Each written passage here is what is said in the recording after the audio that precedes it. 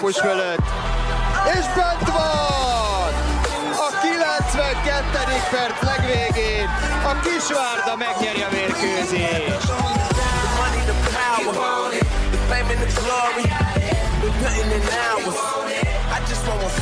Az Újpest a legutóbbi öt fordulóban ugyanannyi pontot gyűjtött, mint a listavezető Ferencváros, kilencet, talán éppen ezért nincs is nagy szükség a változtatásra a kezdőben.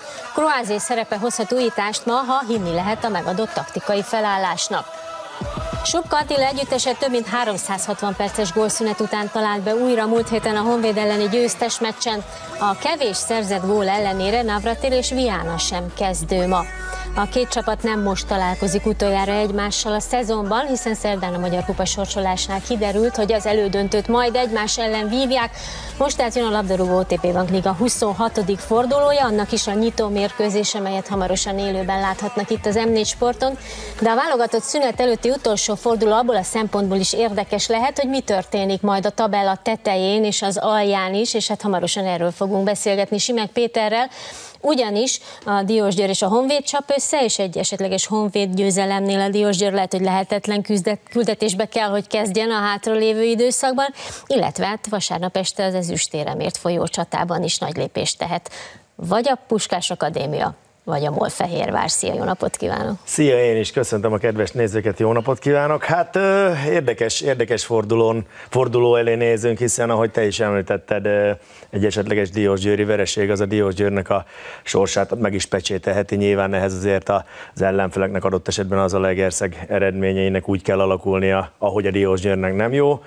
A holnapi nap pedig a Puskás Akadémia tud egy nagy lépést tenni, egyébként egy egyre jobb formában lévő Mófehérvár ellen, úgyhogy az is egy pikáns mérkőzés lesz. Visszakanyarodva a mi mérkőzésünkhöz most a 26. forduló nyitó találkozójához, ugye a Kisvárda és az Újpest csapata között három pont a különbség, és egy esetleges hazai Újpest győzelemmel helyet is cserélnének a tabellán. Igen, ez azért pikáns szintén, mert ugye a kupában is találkoznak egymással, ráadásul Kisvárdán, és, és hát ami, ami, ami ilyenkor lenni szokott, ha elődöntőben van két csapat, akkor meg szeretné nyerni a kupát, viszont melyik csapat tud nyugodtabban belemenni ebbe az elődöntőbe, és hát jelen pillanatban a Kisvárda, hiszen három ponttal több van neki, ami azt gondolom, hogy egyébként elég is lehet a végelszámolás szempontjából. Beszélgettünk itt a Gól 2-ben Révész Attilával, és azt mondta még akkor, amikor nem volt csak 31 pontja a Kisvárdnak, hogy nem néznek hátrafelé, aztán szereztek hármat múlt héten a Honvéd ellen, így már szerintem se kell hátrafelé nézni, viszont az Újpestnek a 31 még lehet hátrafelé nézegetni, viszont hogyha megvan ez a három pont, akkor ők is már olyan nyugodt lelki állapotban mehetne a kupa mérkőzésbe, a kupa elődöntőbe, amivel szeretnének, úgyhogy ilyen szempontból én egy, egy, egy domináns Újpestet várok, egy viszonylag szerintem védekező Kisvárda ellen. Hallgassuk meg a hazaiak vezető edzőjét, hogy ő mit vár a találkozótól. After 120 minutes cup game, Egy 120 perces kupapárharc után három napja volt formába hozni a játékosokat. Mennyire frissek a srácok? Meglátjuk. A jó hír az, hogy a válogatott szünet előtt ez az utolsó mérkőzésünk, újból nulláról kezdünk, és talán a játékosok már egy kicsit fáradtak, de igazából, ha kilépnek a pályára, akkor ez már nem jelent semmit, felszívják magukat, százszázalékosak lesznek, és szerencsére sok a csere lehetőség. Az Újpest fiatal és tapasztalt játékosok nagyon jó keveréke. Hogyan hogyan tudja belőlük kihozni a maximumot, hogyan tudja a legjobban használni az erényeiket? Sajnos valóban a fiatal játékosaim többsége sérült. Nagyon remélem, hogy a válogatott szünet után bevethetőek lesznek, például Katona, Mucsányi vagy Máté Zsolti. Azt se felejtsük el, hogy nagyon nehéz covidos időszakot hagytak a válluk, a hátuk mögött, úgyhogy időbe telik, de valóban igaz, hogy jó a kínálat, a rutinos játékosok vezetésével ők jól dolgozhatnak. Néhány héttel ezelőtt azt mondta, hogy Beridze, hogy ha van lehetősége, van területe, akkor az egész bajnokság egyik legjobb játékosa. Milyen a kapcsolata Mitrovicsal, aki nagyon jó labdákkal szolgálhatja ki? Azt őszintén szóval nem tudom, hogy barátok-e, de az biztos, hogy a labdarúgásban gyakran érzik egymást a játékosok, van köztük összhang, természetesen kis különbségeken is múlik. A csatároknak mindig az a kockázata van, hogy el kell kapni a jó pillanatot, talán lesen vannak, nem mindig kapják meg a jó paszt, de hogyha Beridze abban a helyzetben van, hogy egy az egyben tudja rávinni a labdát az ellenfelére, akkor ő kiváló játékosként biztos, hogy képes lesz gólt lőni, és ez nekünk nagyon jó. Ő is azért már elfáradt, hiszen nagyon-nagyon sokat dolgozott az elmúlt mérkőzések során, úgyhogy vigyáznunk kell vele. Sajnos Perosevic öt sárga miatt nem játszhat, és Talló is még mindig eltiltását tölti, úgyhogy valamit ki kell találnunk. Hát ráadásul egy végletekig kielezett Magyar Kupa mérkőzésen van túl az Újpest, hogy a hosszabbítás után 11-es párbajt követően jutott az elődöntőbe, úgyhogy még ezt is ide vehetjük, amit felsorolt ugye önénk a hát nem tudom, a negatív oldalra, hogy mennyi is ebből vérzik az Újpest. Ehhez képest azért azt mondtad, hogy inkább egy vállalkozó szeblemű támadóbb csapatot vársz. Igen, mindenképpen. Az, hogy Kroázé milyen pozícióban lesz, ez majd egy jó kérdés. Szerintem nem ebben a kilencesben, ahogy itt, itt felrajzoltuk, de hát ki tudja azért Önningmester mm, híres a váratlan húzáséről, de szerintem ő visszamegy majd a középpályára. Mitrovic lesz az, aki majd a csapatot mozgatja, és Tiber Beridze párossal fog majd egy ilyen 3-5-2-es rendszerben rohamozni az Újpest, lehetőség szerint rohamozni, bár érdekes volt, amit Öningmester mondott, mert hogyha területek kellnek Beridzének, akkor azokat a területeket azokat ki kell alakítani, vagy úgy, hogy hátrébb állok egy picit, vagy úgy, hogy taktiko, taktikailag picit kijebb engedem az ellenfelet, hogy legyenek területek, hiszen a Paks ellen ez jól működött egyébként. Nem vagyok benne biztos, hogy a Kisvárda nem fog ez ellen tenni, és ahogy említettem is már itt korábban, szerintem egy defenzívebb Kisvárda ellen fognak pályára lépni, akik szintén a kontrára fog majd építeni. És ugye azért látványos a változás az Újpest formájában az elmúlt öt fordulóban, mert ahogy az imént láthatták a, az öt fordulót mutató tabellán is, ezért igen előkelő második helyen állnak. Igen, érdekes volt. Amikor ugye megérkezett Öningmester, akkor mindenki kétkedve fogadta, és az eredmények nem is úgy jöttek, ahogy ő azt szerette volna, és hogy az Újpest szimpatizánsok szerették volna. Az első három mérkőzésen komoly zakokba szaladt bele az Újpest, és onnantól kezdve aztán volt egy emtékelni olyan feltámadás és olyan magabiztos jó játék, ami egy komoly lökést adott a csapatnak, és azóta, még akkor is, hogyha ugye éppen a múlt fordulóban a Puskás Akadémia ellen vereséget szenvedtek, kialakult egy olyan meghatározó és stabil csapatjáték, ami miatt aztán odáig jutottunk, hogy az egyik legeredményesebb és leg legstabilabb csapat, csapat benyomását keltik, és hát vannak olyan játékosaik, mint Mitrovic és Beridze, akik pedig, hogyha jó, jó összhangban vannak, és Beridze például a táló kiválása után több lehetőséget kapott, és abszolút élnek is vele, Mitrovic pedig az a játékos, amit mindig mondok Újpestre, hogy kell, hogy legyen egy olyan, aki felveszi a hátára a csapatot, és most ezt maximálisan megoldja.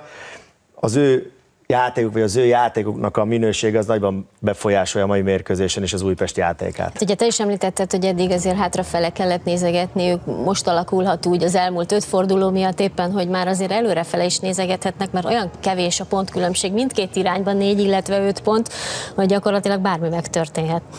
Abszolút igen, hát hogyha megvan ez a mérkőzés, akkor megint arról beszél. Az Újpest szempontjából ez évek óta erről beszélünk, hogy, hogy ha megvan a három pont, vagy adott esetben még akár több is, akkor a dobogó is megcélozható, de közben figyelni kell arra is, hiszen egy rossz sorozat után a kiesés szélére is sodródhat a klub.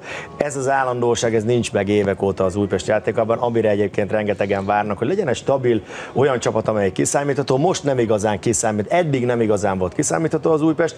Ettől függetlenül önning érkezése után azért látszik az, hogy mit szeretnének játszani, látszik az, hogy van változás pozitív értelemben, nyilván nem véletlenül vannak ott a kupa elődöntőjében sem. Ettől függetlenül én még mindig azt mondom, hogy inkább hátrafele kell nézegetni. Ha ez a meccs megvan, akkor megnézni kell az ellenfeleket.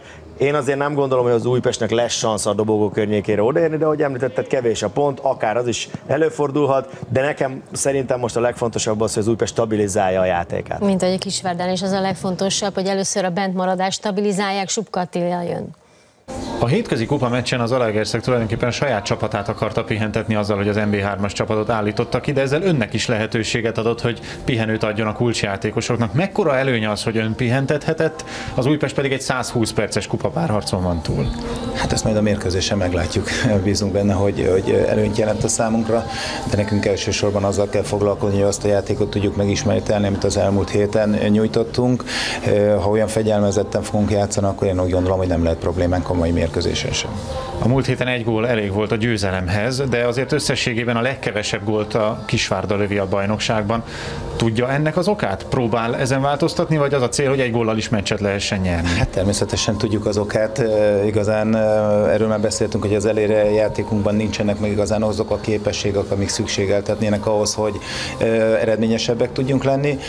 Az ősz folyamán is rengeteg helyzetet kidolgoztunk, akkor nem tudtuk értékesíteni, most kevesebb helyzetünk van, ebből a kevesebből nem sikerült gólt rúgni, de én úgy gondolom, hogy ami a legnagyobb problémánk volt itt a tavasz folyamán, hogy a védelmünk az szétesett az ősz folyamán, rengeteg sérültünk volt, a Lukasz kiesett a középpályáról, és most az elmúlt két hétben lehetett már azt látni, hogy kezd a védekezésünk összeállni, ezáltal masszívabb lett a csapat, és hogyha masszívabb a csapat, akkor az előrejáték is azért valószínűleg alakulni fog az egy gól per meccs átlaga sincs meg a Kisvárdának. Ugye az, hogy Navratil négy góllal tud házi gól király lenni, az is sokat elmond, viszont ugye azt is már mondtuk, hogy hát nincs ott a kezdőben most sem.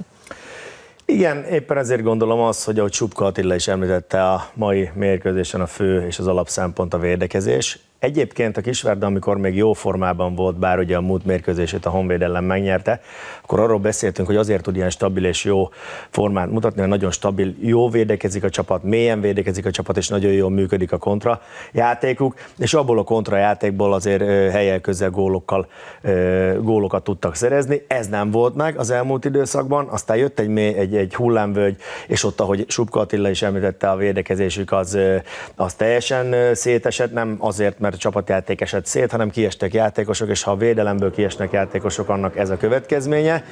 Viszont, viszont a mai mérkőzésen megint én azt gondolom, hogy, hogy egy nagyon stabil védekezésből egyébként ezzel egy picit elszúrva az Újpest játékát fognak majd kontrázni, és hát a cserepadon azért ott vannak az által is említett játékosok, akik viszont bejöve és frissen, hiszen nagyon fontos a, a frissesség, és nagyon fontos a rotáció ebben a sorozatterheléses időszakban, akár előnyt is tudnak jelenteni a Kisvárda számára. Igen, ráadásul ugye a Honvéd elleni mérkőzés utolsó labda érintése volt az a bizonyos szerzett gól hosszú-hosszú idő után, viszont azért a kapott gólok számában azt is azért elég nagy szám áll a nevük mellett. Igen, ez törvényszerű, ráadásul amikor az, ha egy csapat belekeveredik egy ilyen negatív spirálba, akkor, akkor akarva akaratlanul teljesen mindegy, hogy az edző hogy próbál egy rendszert vagy egy taktikát felállítani, azért játékosok fejében megvan az, hogy kellene győzni. Ahhoz, hogy győzzön egy csapat, ahhoz támadni kell. Ahhoz, hogy támadjon egy csapat, ahhoz bátornak kell lenni fölfele, és ha nincsenek meg a gólok, akkor nagy területek vannak mögöttük. Tehát ez egy ilyen láncreakciót indított el ez a sikertelenség,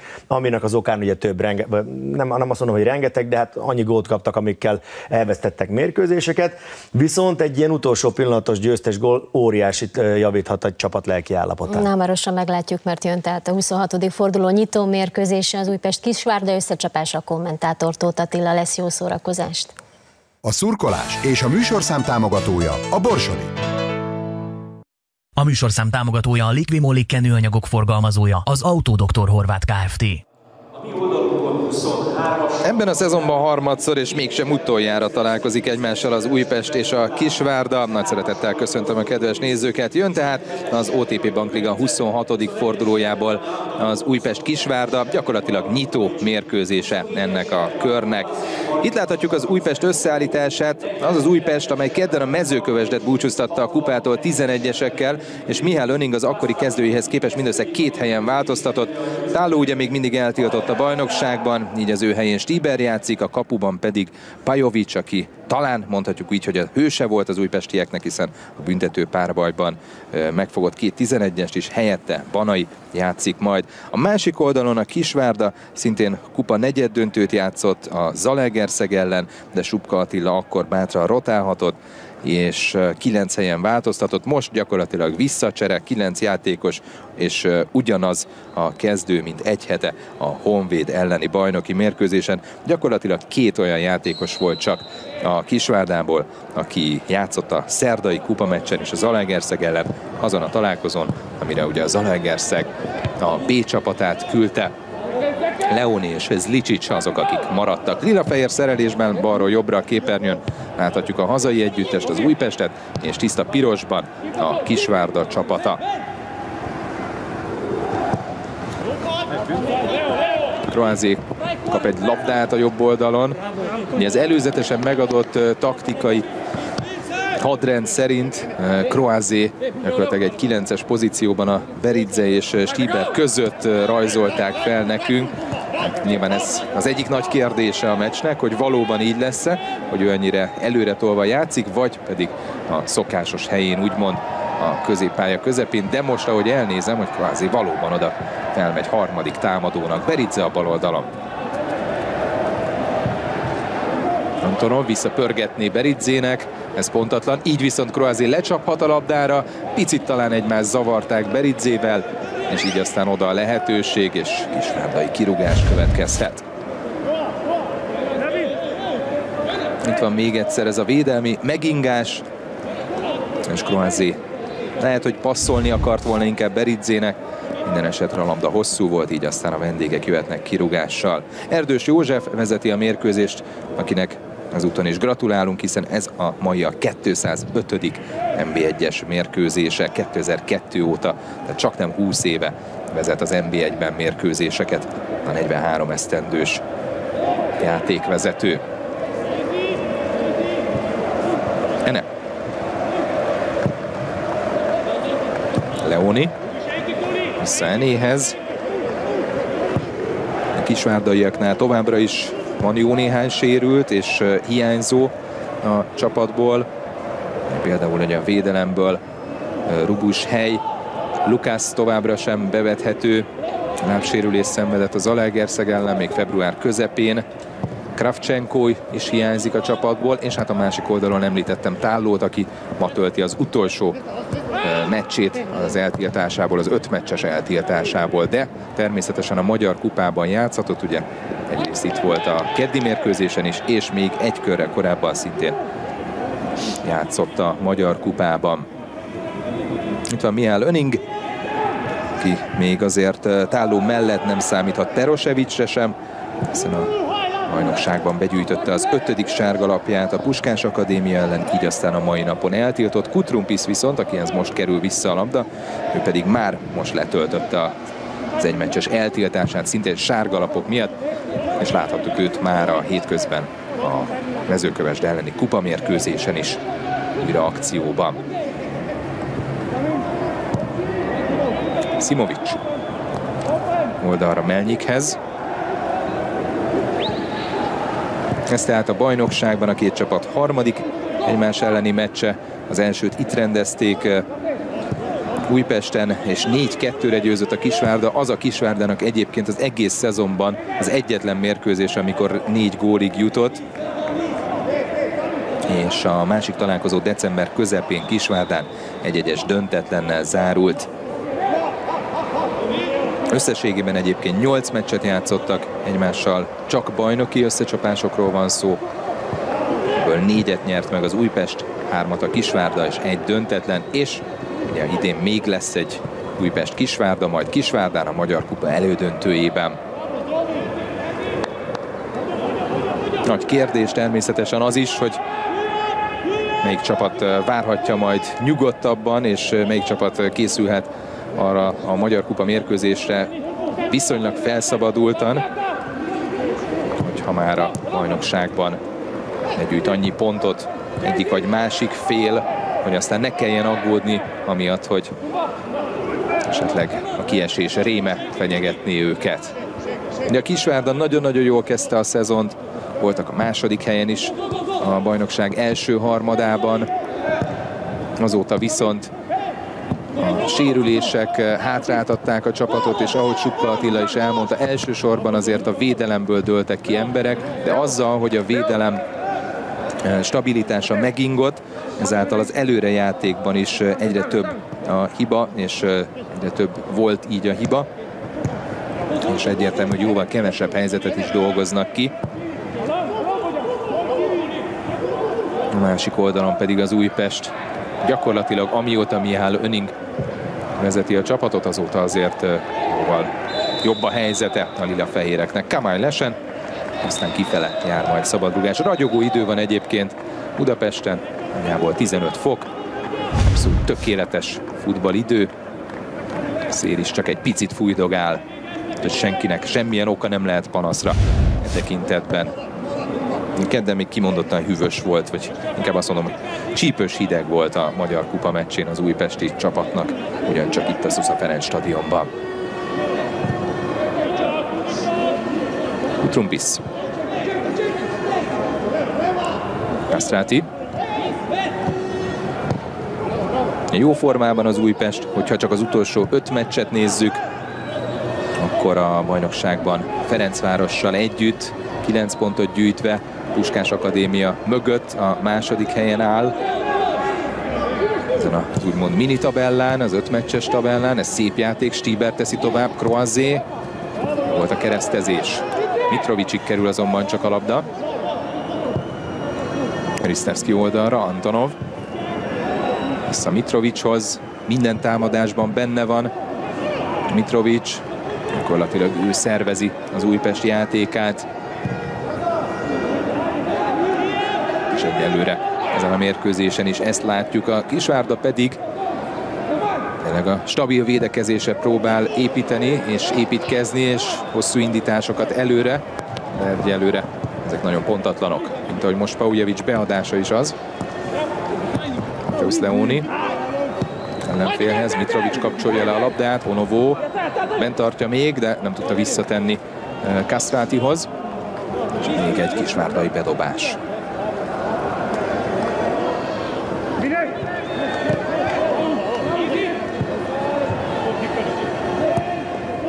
Ene hátra, Dombó.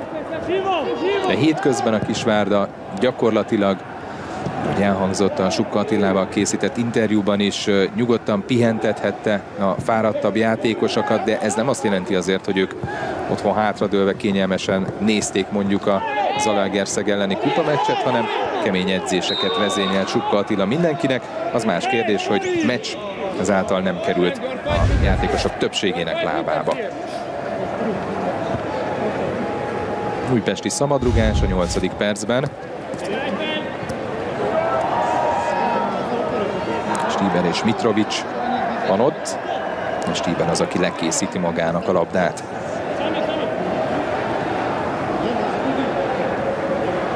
Középen elől természetesen mindhárom belső védője az újpestieknek. Risztevski, Kutrumpis és Kastráti is. Aztán lehet, hogy végül Mitrovic végzi el ezt a szabadrugást. Most már a 9. percben járunk. Stíber ott hagyja Mitrovicsnak, és aztán legurítja neki, és Stíber elvállalta ballal. Nem volt egy rossz elgondolás, csak éppen a lövés volt nagyon-nagyon pontatlan. De megvan a találkozó első kapura lövése. Nem kaput eltaláló, de legalább kapura lövés.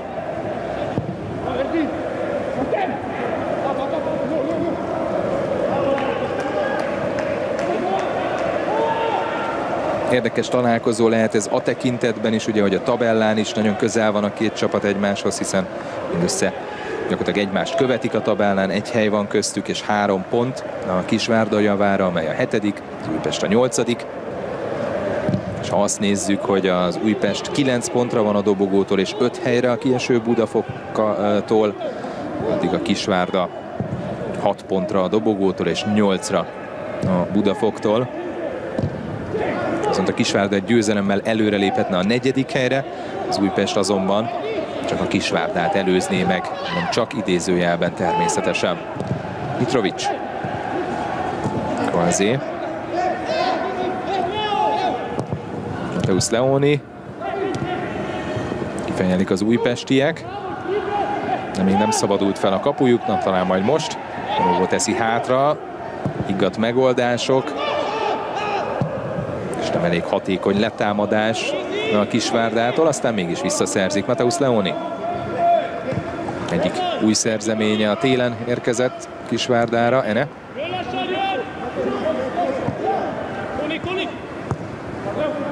Leoni. Ujjevics. Szép, és egyből indul Kroázé, nem volt lesen. Kroázé belül a 16-oson. Nagyon önzetlen passz Beridzének, 1-0 az Újpest javára a 11. percben. Hát a les határa érkezett a kiugratás Kroázénak, az biztos, de aztán nagyon-nagyon önzetlenül inkább begurította középre, a paszt választotta ahelyett, hogy elvállaljon. Nézzük itt, hát ott nagyon-nagyon árnyékban van Kroázé, meg nem mondom, hogy ez valóban les volt, ez a passz, ez biztosan nem. Kroázé ki is néz az asszisztensre, nem jeles semmit. 1-0 az Újpestnek, Beridze góljával, akinek ez a hetedik találata a szezonban, és ezzel ő az Újpest házi góllövő listájának első helyezettje. 7 gól Beridze neve mellett, ezzel most maga mögött hagyja Simon Krisztiánt, aki már felépült, ezen a mérkőzésen is ott van, bevethető állapotban a kispadom. Beridze pedig nyugodtan mondhatjuk azt, hogy bomba formában. Hétről hétre, mérkőzésről mérkőzésre.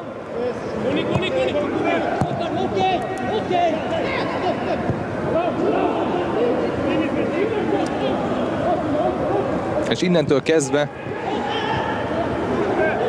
a Kisvárdának már az az egy gól, amivel általában nyerik a mérkőzéseket, az most már nem nagyon elég semmire, legalábbis három pontra biztosan nem. A Kisvárda három vereséget szenvedett sorozatban a bajnokságban, majd legutóbb 1-0-ra győzni tudott a Honvéd ellen. És nagyon fontos volt a csapat számára a hétközi 6-1-es siker az Zalaegerszeg ellen, még akkor is, hogyha az az ETE B csapata volt, mert eh, hát ez a hat gól, amit akkor rúgtak, az eh, gyakorlatilag pont annyi, mint amennyit a bajnokságban az utolsó 10 forduló alatt. 6 rúgott gól, 13 kapott gól ebben az esztendőben, ebben a naptári évben 10 mérkőzésen. És ezzel a hat rúgott góllal is tudtak nyerni három mérkőzést, és emellett még két döntetlen. És öt vereség, hogy teljes legyen a kép. Hosszú kiugratás, túlságosan is hosszú, ráadásul még lesen is volt Bumba. Banai jól mozdult ki a kapujából. A hétközben Pajovics védett, de a bajnokikon általában Banai az, aki az Újpest kapuját őrzi. Kutrumpis végzi a szabadrugást. Beridze felé, Kroázé meg is csúsztatja Beridzének. Beridze egy az egyben csinálta, és aztán csúnyán fölé mellé lő georgiai játékos. Kétszeres válogatott egyébként Györgyi Beridze.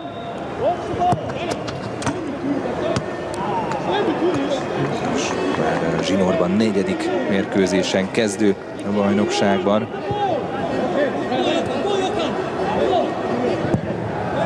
Az előző szezonban 27 meccsen 4 gólig jutott, most pedig 26 meccsen tart 7-nél. Croazé, a 16-oson. Croazé nem támadják el is, Lavi gyönyörű gól! 2-0 a 14. percben. Hát nem zavartatta magát Croazé. Ha már egyszer nem támadják meg, akkor ott a lövő helyzet. Megint a les határon ez a passz. Itt tessék nézni, hogy behátrál a védője egész egyszerűen. Ene volt az, aki ott hagyta Kroázét. Itt nem tudott szerelni, és aztán utána elsétál. Kroázé meg gyönyörűen kilövi a jobb alsót.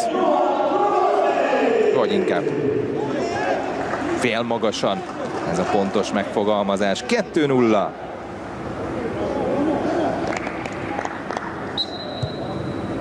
Akár még egy nagyon komoly verésbe is beleszaladhat a Kisvárda, hogyha ez így folytatódik.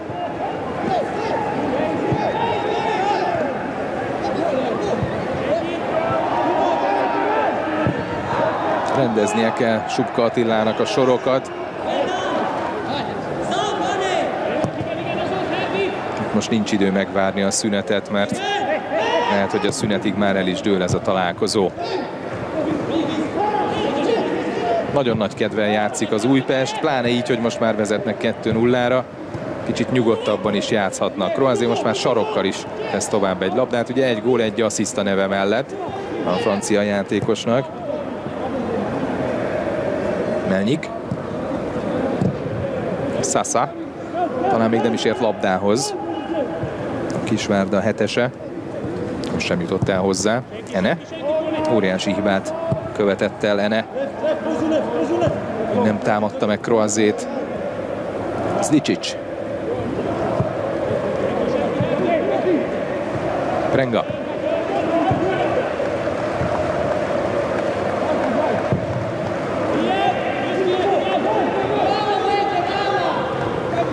Panai. Próbálják őt zavarni, de jóval előnyösebb helyzetben, mint Sasa. Prenga. Sasa nem érhet hozzá, mert les lenne. Kutrumbis meg lehúzza a fejét, hiszen Sündisznóra összegörnyet, hogy véletlenül is hozzáérjen a labdához, hogy baj legyen. Vistevski. Antonov. Mitrovic. Asztráti. Onovo, Onovo összeszaladt Mitrovicsal, de valahogy tovább tudta még tenni Mitrovic, és már a kiugratás Kroazénak. Kroazé ezúttal rosszul találja el. Hát 17. percben könnyen meg lehetett volna a harmadik gólja az újpestieknek. Ezúttal szó nincs lesről, ez nem is lehet kérdés. Viszont most Kroazé nem találja el a, a, a labdát jól. Stiebertől jött egyébként a passz Kroazénak.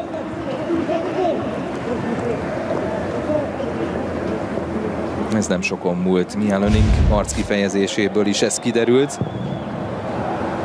Négy győzelem, öt vereség Mihály Öninggel a bajnokságban, és három győzelem a Magyar Kupában, tehát döntetlent még nem játszott az Újpest, amióta ő irányítja a lila-fehéreket.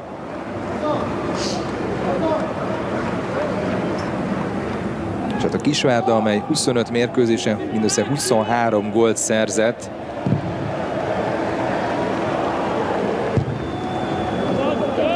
nagyon föl van adva a lecke a számukra, hogy ezen a meccsen visszakapaszkodjanak. Rúgtak már itt négy gólt ebben a szezonban, csak akkor még egész más szelek fújtak. Más formában volt a csapat. Szeptember 13-án volt. Az a Perosevic szerzett két gólt az újpestiektől azon a meccsen, akire most nem számíthat Mihály Öning. Én említettem eltiltás miatt. A másik oldalon pedig Bumba, Simovic, Rubus és Datkovic voltak a Kisvárda gólt szerzői azon a 4-2-es meccsen. De Bumba most itt van a kezdőben, mint ahogy Simovic is. Rubus sérült, Datkovic pedig már eligazolt Kisvárdáról.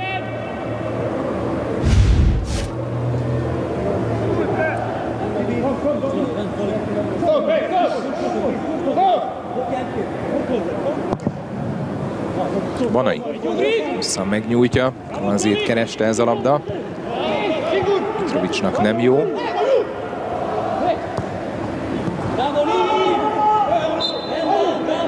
Kemény ütközés, Kastráti volt szabálytalan.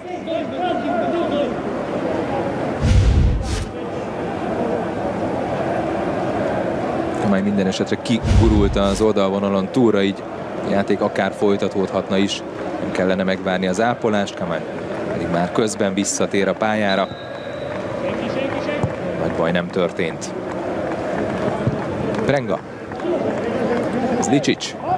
Térül, fordul, és nagyon bizonytalan. Kroázi elveszi tőle a labdát, aztán Zlicic megrángatja a mezét, ezért jár a sárgalap.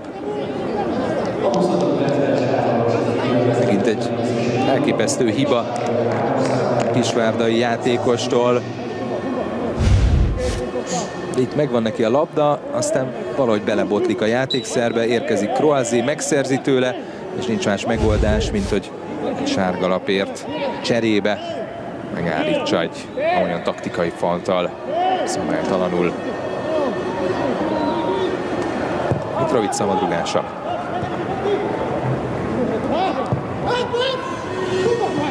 Visszakerül a csapatkapitányhoz, Beridze beindul, de nem ő kapta, hanem Stieber. Ez is gyönyörű játék volt Stieber és Kroázi. Látható volt egyébként kedden is a Magyar Kupa mérkőzésen is, és már az elmúlt hetekben is korábbi bajnoki találkozókon is, hogy vannak néhányan, akik nagyon érzik egymást, és nagyon összeszokott játékkapcsolatok épültek ki itt az elmúlt napokban, hetekben Újpesten. És érdekes lesz majd az, amikor Tálló visszatérhet már a következő találkozón, hogy vele például hogy működik majd mindez. De láthattuk, hogy azért nem működött rosszul például a Magyar Kupában sem. Az utolsó két meccsen, amikor ugye Táló játszhatott, de a majnokikon el volt tiltva.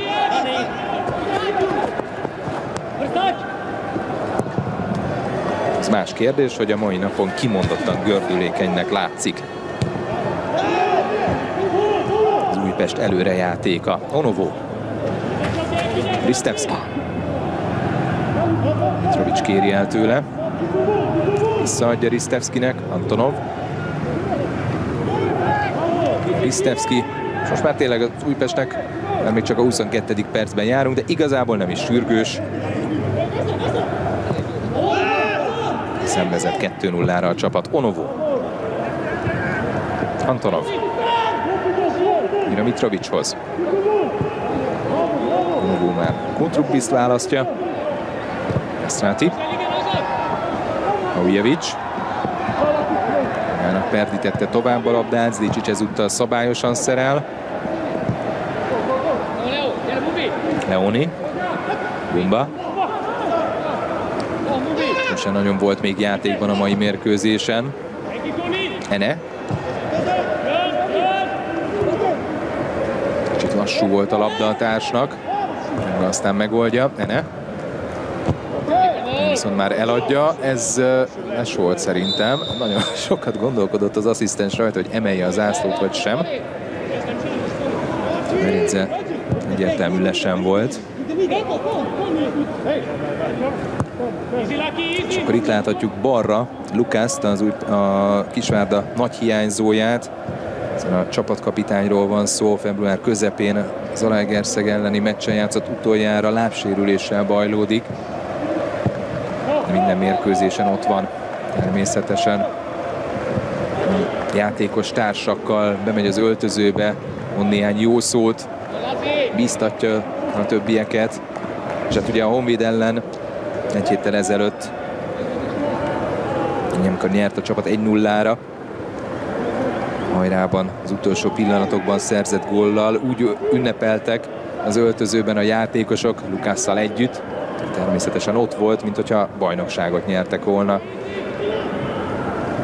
Komoly teher volt a csapat vállán, hiszen zsinórban három vereséget szenvedtek, ez egy nagyon rossz labda.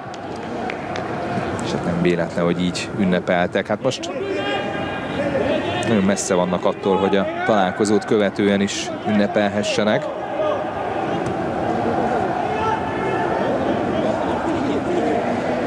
És ahogy említettem, ez a forduló nyitó mérkőzése a mai napon MTK Zalaegerszeg 5 órától, és aztán utána 7 óra 30 perctől DVTK Budapest Honvéd összecsapás a mai napon. És hogy teljes legyen a kép, holnap Mezőkövesd Budafok, Ferencváros Paks és Puskás Akadémia Fehérvár találkozókat rendeznek még a 26. fordulóban. Kutrumpis. Pauljevic kérte a labdát széttárt karokkal, végül aztán Onovótól kapja meg. Pauljevic vissza Mitrovichoz. Stevski. Bekerült az Észak-Macedón válogatottba. vb selejtezőt játszanak majd az Észak-Macedónok, ugyanúgy, mint a magyar válogatott is. Észak-Macedónok Romániával, Liechtensteinnel és Németországgal találkoznak. A magyar válogatott pedig esetleg, aki nem tudná Lengyelországgal, San Marinóval és Andorrával, március végén három naponta, 25-én, 28-án és 31-én azokat a találkozókat is természetesen élőben láthatják itt az M4 sporton. Kutrumpis.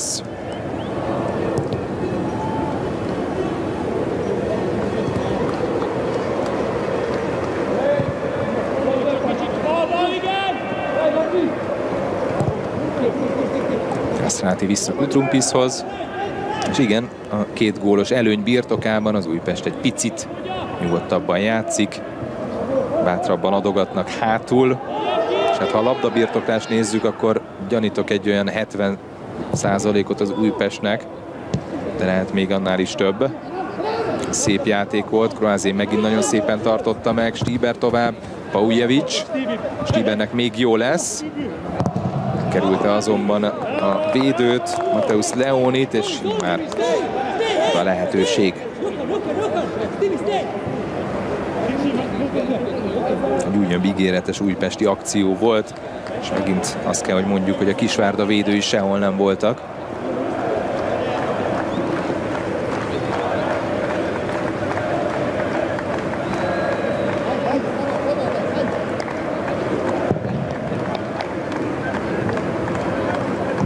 felé a labda.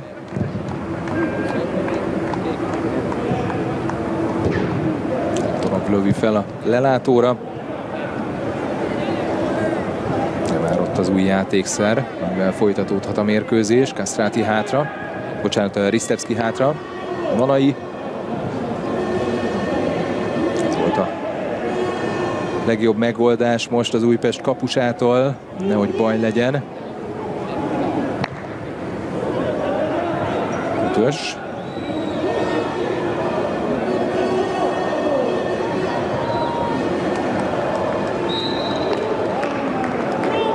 Kisvárdai labdavesztés, és aztán még egy szabálytalanság is.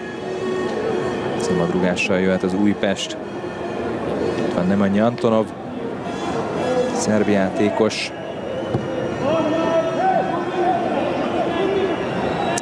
20-as világbajnok is még 6 évvel ezelőtt.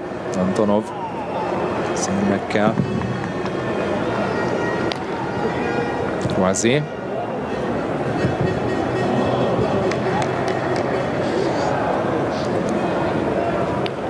És újpesti bedobása vége.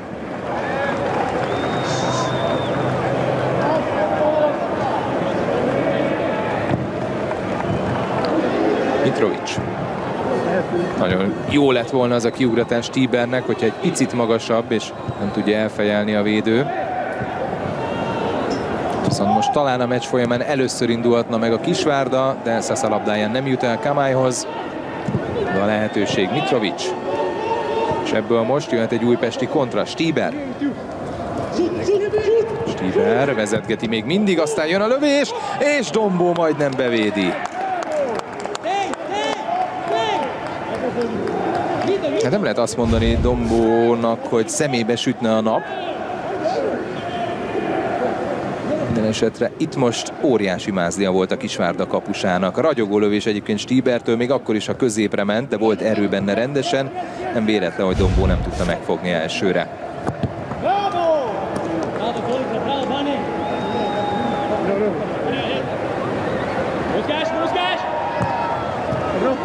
Hát ha bevédi ezt a labdát, labdát Dombó, akkor alig, hanem teljesen össze zuhant volna a Kisvárda. Már így a első fél órában. Ene. Prenga.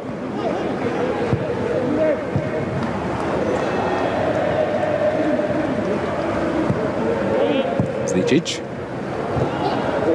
Szépen tovább perdítette, és ez a kiugratás most majdnem jó volt, ragyogó a keresztezés Kastrátitól, és aztán szépen tovább is viszi, és még bent is tartja. Kroazé. Mitrovic. Kristevski. Antonov, üres terület előtte, Kroazé pedig el is indult. Aztán végül visszalépett, így kapta meg Croazé, Onovo. Teljesen tisztán Paujevic várja. Picit lassú volt a labda, Leoni pedig leütközi Paujevicet. Újpesti szabadrugás.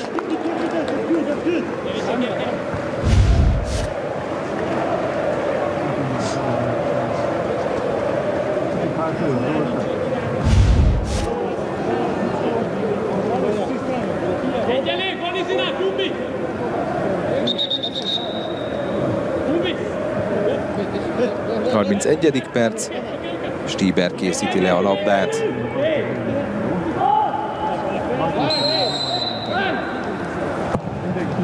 Stieber a hosszúra, és ez itt túlságosan hosszú mindenkinek.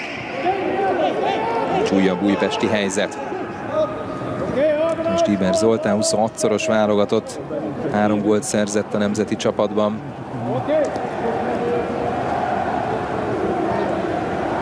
2019-ben tért haza, sok-sok évnyi légióskodás után Zalaegerszegre, és aztán a nyáron tette át székhelyét Újpestre. Antonov. Kvázénak hosszú, Prenga. Dombó. Pá, megint nem elvétette, és aztán utána a védőnek kell nagyon figyelnie Simovicsnak. Onovó majdnem labdát szerzett. Simovics Néhányan előragadtak most a lilafehérek közül. Ezt próbálhatja meg kihasználni a Kisvárda. Hát így viszont, hogy visszafele játszott Leoni, a lehetőség mindenki visszaért. Ene, lágy labda Sassának. Sasa belül a 16-oson elesik, és a játékvezető nem fúj semmit, Manai pedig már gurítja is ki. Mitrovic. Ebből elindulnak az újpestiek. Nézzük közben, hogy itt mi történt. Hát nem hiszem, hogy ezért 11-est kell adni, de nyilván majd a stúdióban Simek Péter megbeszéli azt Petrovics Mérei Andreával. Igen, Sasa még mindig lent van, ezért megállítja a játékvezető a játékot.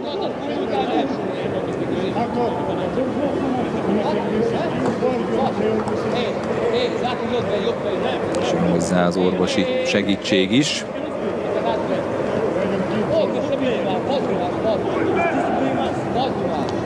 Sukka Attila, aki azt mondta, hogy a múlt heti fegyelmezett játékra van szükség a mai napon. Addig megnézhetjük az újpesti két gólt. Hát itt a fegyelmezett játékról szó nem volt. Egy ragyogó passz Kroazétól, a labdaszerzés után Beridze befejezi. Ez volt a 11. percben, és aztán három perccel később Kroazé pompás lövése Ene hibáját követően. Ezzel alakult ki a 2-0, és jelentem, Sasa meggyógyult. Viszont még nem lehet a pályán, hiszen a játékvezetőnek kell majd visszaengedni őt az ápolást követően.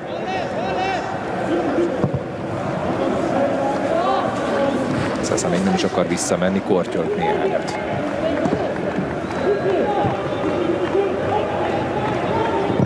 Sőt, még Lukásztól is kap néhány szót a lelátóról. Közben jön az Újpest, Paujevic. Gyócsel, meg aztán még egy, de ez a harmadik, ez már sok volt. Simovic. Hát a bal oldalra Sasa felé, aki visszatérhetett a pályára.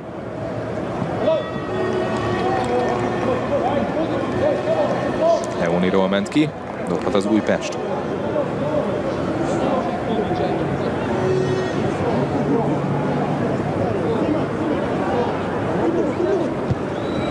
Attila, aki tavaly júliusban vette át Ródok Tamástól a Kisvárda irányítását. Csak nagyon jól kezdődött a szezon a Kisvárda számára, ahogy mondtam korábban. Beridze. Szép gurítás pontatlan. Hát igazából nagy gond azért persze még most sincsen Kisvárdán.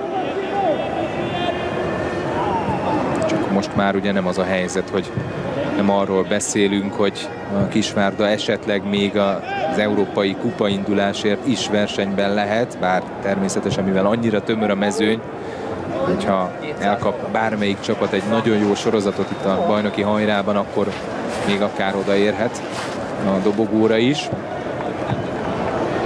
De hát most már inkább hátrafele kell tekintgetni a Kisvárda számára is. Pláne most. 3 a 2 ellen elhozhatja az Újpest. Stieber. Croazé, Beridze várja, most indul meg, és a 16-oson belül, és ott is van a harmadik gól.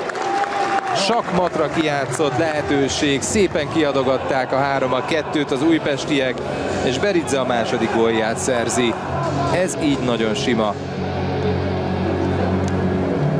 A nyolcadik gólja Beridzének most már a szezonban, és most már egyértelműen meglépve Simon Krisztiántól. Két gólos előnybe került a házi góllövő listán is. Nagyon sima. Hiába jön Dombó, nincs esélye, Beridze szépen alányul, és eltekeri a hosszúba. 3-0. És ez így már K.O. Subka Attila odahív magához két játékost is. Én azt gondolom, hogy Vienna az egyik, őt láttam. Szóval azt gondolom, hogy ezek a cserék már most érkezni fognak. Nem várja meg a szünetet a Kisvárda mestere.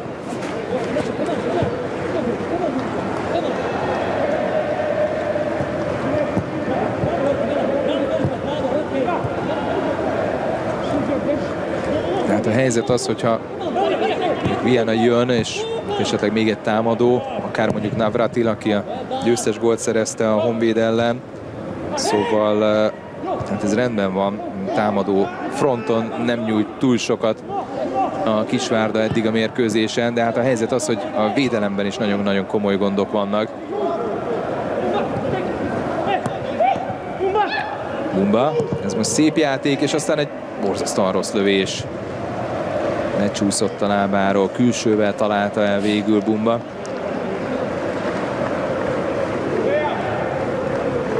Három gólja van. A leggólerősebb játékosa a Kisvárdának az a Navratil, aki most csak csereként bevethető a maga négy góljával.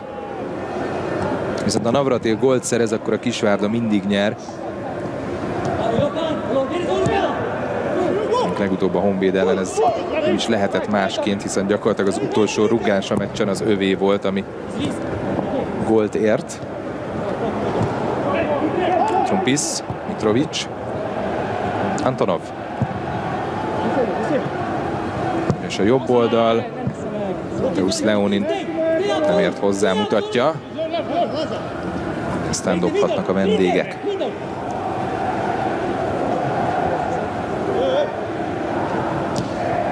Ötvös tovább. Utolsó két meccsén ötvös két, vagy egy-egy kapufát szerzett.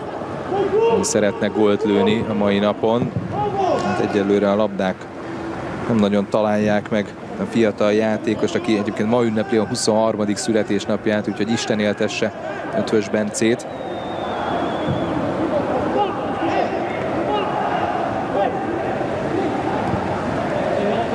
Karabenjov és Viana érkezik majd a Kisvárdába, mint láthatjuk már itt a képernyő alján Sukka Attila adja az utolsó instrukciókat Karabenjovnak.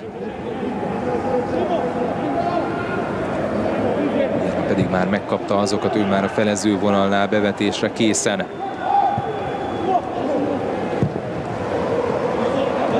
Leoni.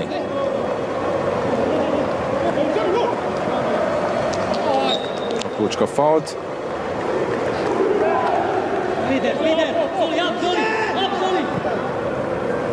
És még nem jönnek az új fiúk. Bumba. Renga. Ene. Leoni. Vissza Enéhez. Tolja egyre fentebb a védekezését az Újpest. Ene egészen hátra kell, hogy tegye Dombóhoz. Dombót pedig érdemes megzavarni, úgy tűnik a mai napon.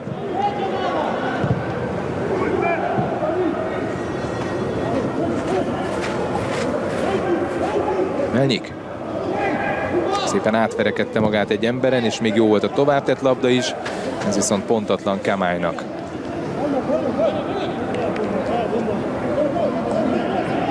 Itt van Viana. Janis csak azért nem láthatunk, mert közben hátrébb lépett hármat. Kisétált a képből. Beridze. Kvázi. Antonov. Vissza Beridzéhez. Nagyon labdabiztosan játszik az Újpest. Néhány húzásból ott vannak már Dombó kapuja előtt, és gyakorlatilag, hogyha a helyzet kihasználást nézzük, akkor közelít a 100%-hoz az, amit a lila-fehérektől látunk. Nagyon szép cselek volt a Kastrátitól, belső védő létére. Croazé, Antonov. És megpróbálta egy egyben megverni a védőjét, ez most ezúttal nem sikerült. Kastráti, illetve Ristevski. Stevennek pontatlan.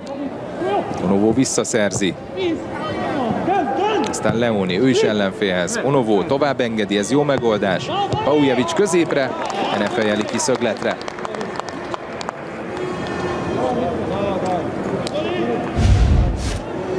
A várdaiak pedig nem akarnak most cserélni, megvárják a szögletet.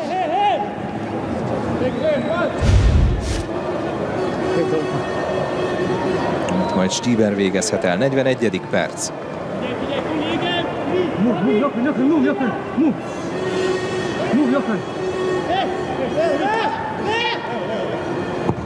Stiber a rövidre, sikerült megcsúsztatni. Ott a helyzet Kroazé előtt, és nagyon-nagyon rosszul találta el.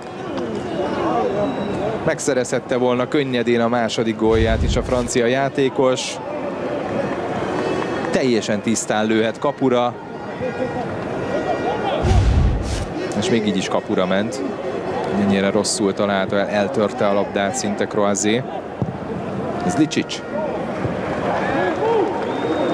Pont most mondtam, hogy szinte százszázalékos a helyzet kihasználás, ez most egy kihagyott helyzet volt. Csökken 70-80-ra az újpesti helyzet kihasználás. Zicsicsnek nem jó, Kutrumpis, egyből tovább, Kroazé, picit volt erős neki a labda. Leoni, megy tovább, Kutrumpis megint nagyon szépen szerelt. Nagyon-nagyon biztos pont a védelemben Kutrumpis. Onovo, Kroazé,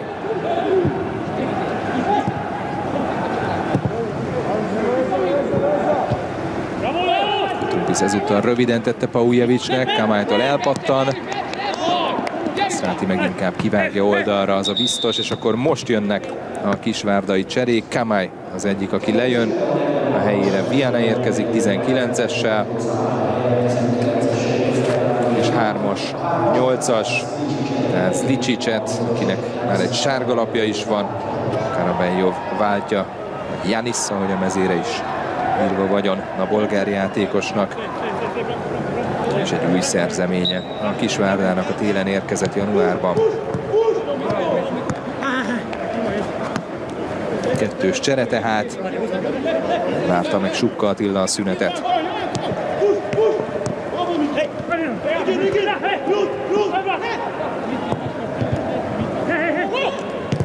Ene. Kumba. Szépen vette le a labdát. Paujevic azonban gyönyörűen beállt elé és szerelte. Stiber tovább, Kroazé, Onovo, Beridze nyargal. Két védő a nyakán, mégis Beridzé a labda. Beridze még mindig, és aztán Ene szabálytalankodik vele szemben. Le is fújja a játékvezető némi spéttel, de újpesti szabadrugás jöhet a 44. percben. Sőt, még egy sárga lapot is kioszt.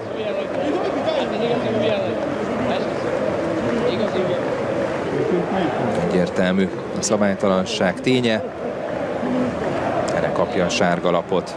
Hát, az biztos, hogy nem Ene mérkőzése a mai.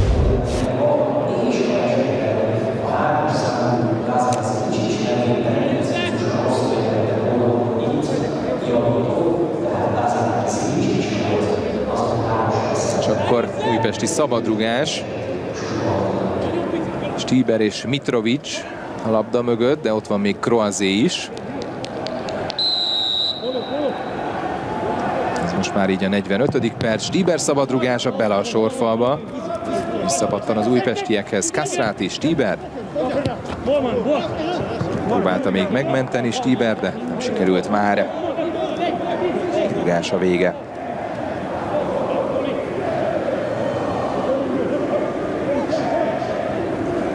Ugye ebben a szezonban egy alkalommal rugott négy gólt a Kisvárda, amivel ma itt most jelen állás szerint meccset nyerhetne, az pont Újpesten volt. Tehát akkor csak kettőt kaptak, és teljes mérkőzésen szerezték, most pedig egy fél idő áll majd rendelkezésükre, hogy megfordítsák esetleg a találkozót.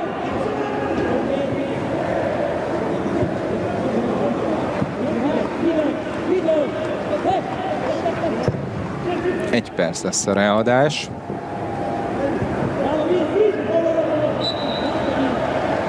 szabadrugás. És hát azok után, hogy először, története során először jutott elődöntőben Magyar Kupában a Kisvárda együttese, hat gólt rúgva, még akkor is, hogyha az egy gyakorlatilag harmadosztályú csapat volt, az Zalaegerszeg, de azért nagyon gyorsan elvette itt Újpesten a lilafehér csapat a kisvárdaiak önbizalmát.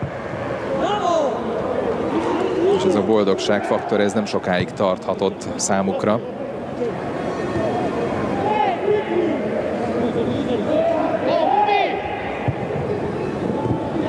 Megint egy nagyon szép megelőző szerelés, és megindulhatna az Újpest, hogyha Onovo egy picit gyorsabb, vagy gyorsabban gondolkodik. Kroazé pedig aztán már inkább hátra. Ez a biztos úgy sincs már sok hátra. Az első félidő ráadásából. Le is fújja Erdős József egy abszolút fölényes és nagyon-nagyon megérdemelt újpesti 3-0-ás előny 45-46 percnyi játékot követően Beridze a 11 Kroázé a 14 és aztán újra Beridze a 35 percben volt eredményes a lilafehérektől. Nagyon nagyot kell javuljon a Kisvárda a második félidőre, ha egyáltalán képes arra, hogy esetleg itt Újpesten pontot szerezzen.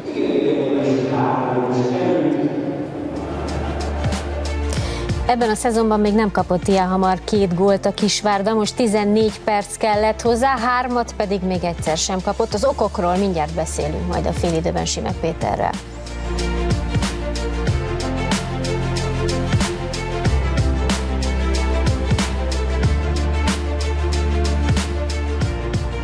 A műsorszám támogatója a Liquimolik kenőanyagok forgalmazója, az Autodoktor Horváth Kft. A szurkolás és a műsorszám támogatója a Borsodi.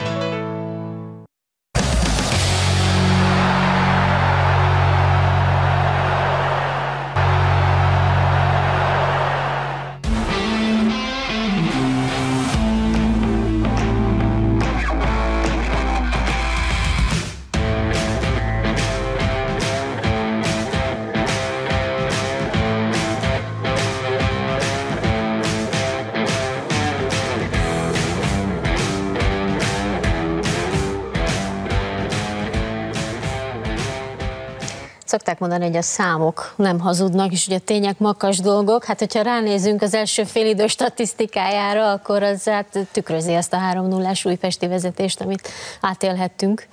Abszolút, és hát itt a meccs előtt sakkoztunk az, hogy Kroázé milyen pozícióba kap majd szerepet. Hát, hát ez a nap húzása volt eddig.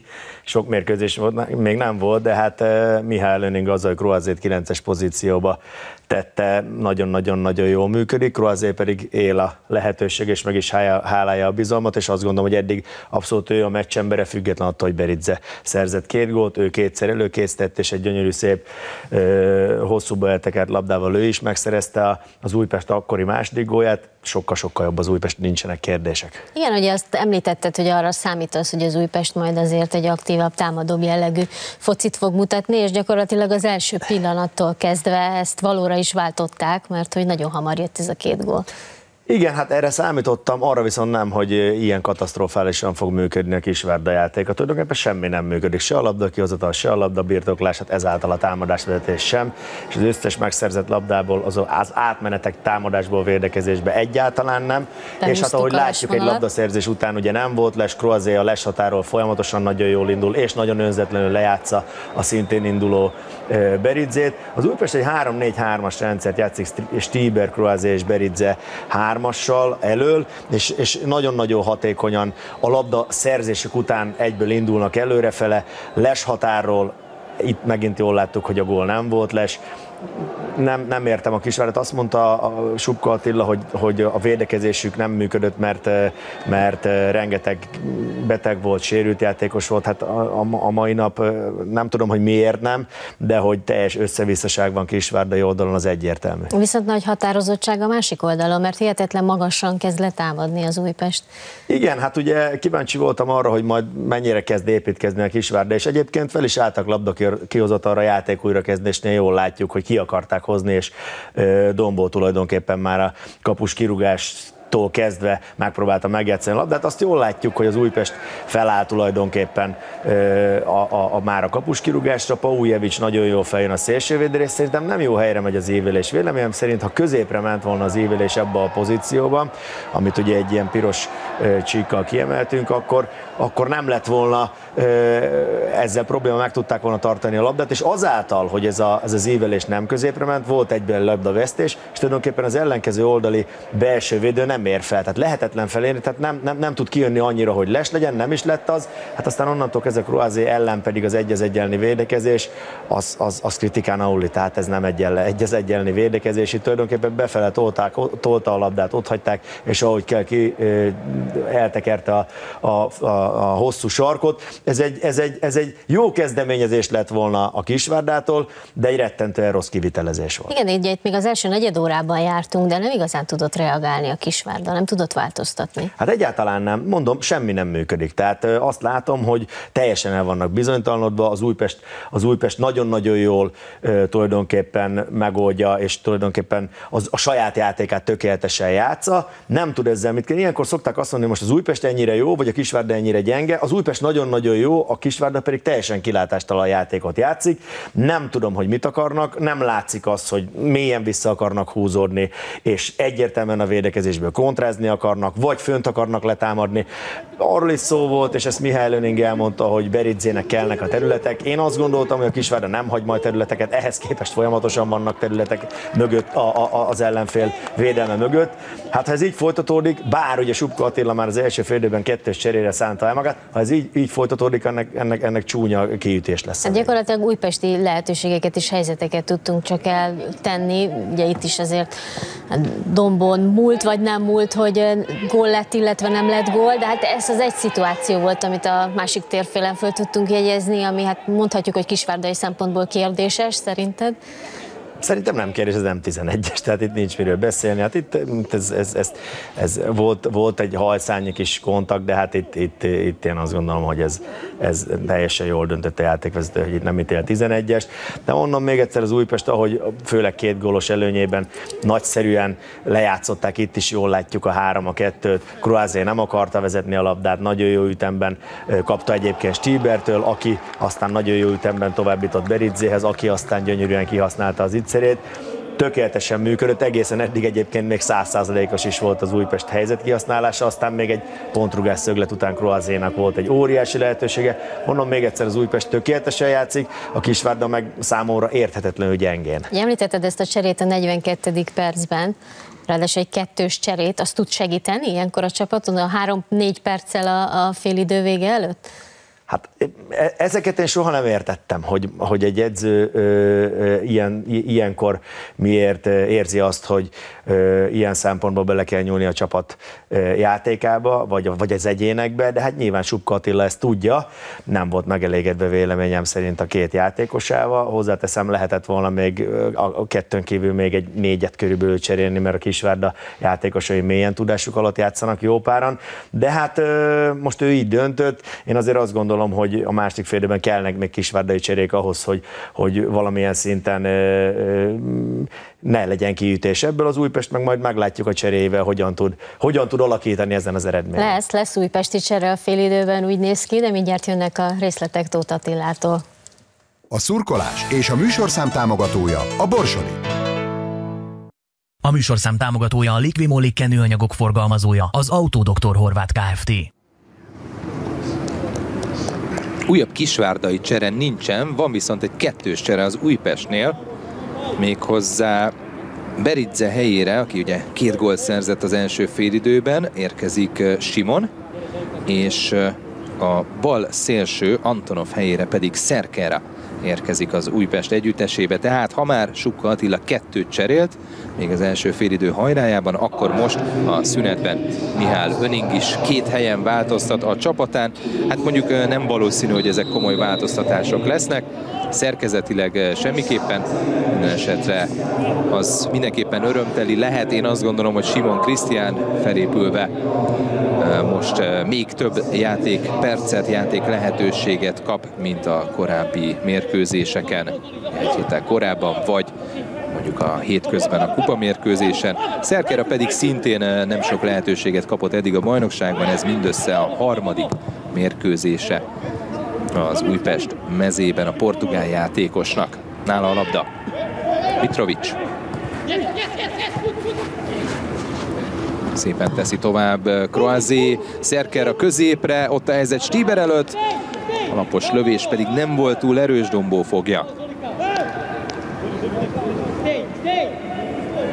Megvolt az újpestiek első kapura lövése. És ami számomra egyébként megdöbbentő volt, nem a kapura lövési statisztika, vagy a kaput eltaláló lövések száma az első félidőben, hanem a labdabirtoklás, hogy azt hogy számolták ki a statisztikusok 54%-ra mindössze az Újpest számára, mert azért annál szerintem jóval többet volt a lila-fehéreknél a labda.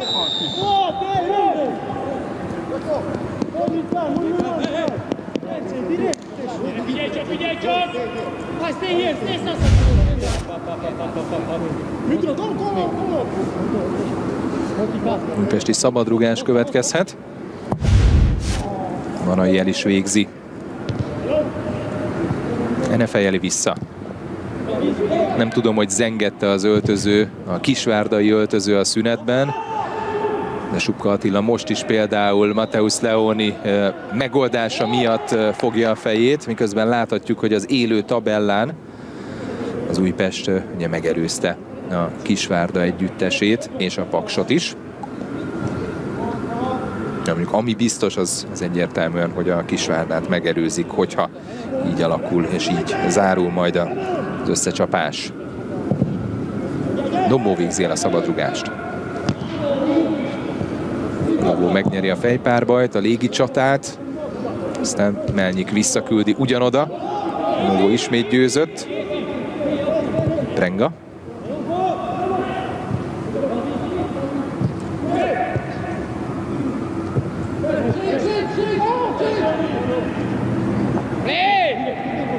És hát a szünetben én azt gondolom, hogy nálam még jóval keményebben fogalmazott Simek Péter a Kisvárda kapcsán, de tényleg semmi nem működött az első félidőben a piros-fehérek játékát tekintve. Most elcsúszik egy újpesti védő, méghozzá Ristevski volt az, de ezt sem sikerült kihasználni a vendégeknek. És hát kapura teljesen veszélytelenek, már pedig ezzel a játékkal pláne, hogyha az Újpestnek ennyire jól megy, és ennyire jól használják ki még a helyzeteiket is, akkor, akkor tényleg nem lehet mérkőzést nyerni.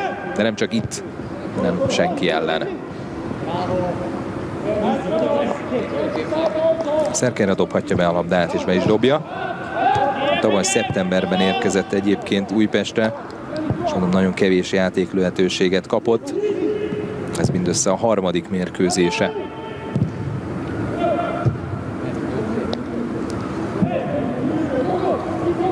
Nehéz is, hiszen Antonov nagyszerű teljesítmény nyújt rendre mérkőzésről mérkőzésre Újpest bal oldalán.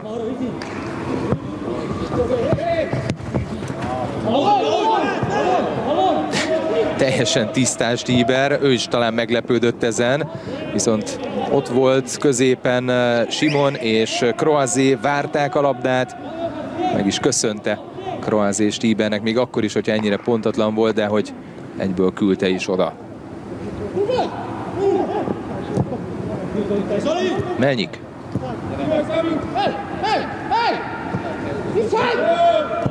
Simovics vissza. Melnyik aztán belelövi Stíberbe, Kroazéhoz pattan. Onovo. Mitrovic. Simonnak nem jó. Aztán Onovo visszaszerzi, Simon lefutja a védőjét. Nagyon kellett, hogy Ene kihasználja a testi erejét, és kicsit távolabb tartsa Simontól a labdát.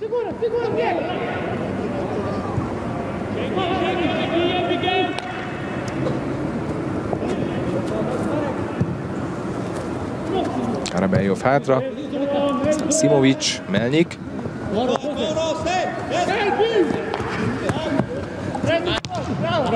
Sasa kiharcol egy szögletet. Szerkéráról ment ki. Hey, hey, hey, hey, hey, hey, hey, hey. De már a második játék részből is eltelt 5 perc. És nem került közelebb a Kisvárda ahhoz, hogy esetleg pontot mentsen. Most viszont a szöglet után ott volt a lehetőség Simovic előtt a fejessel. Ocskán fölé.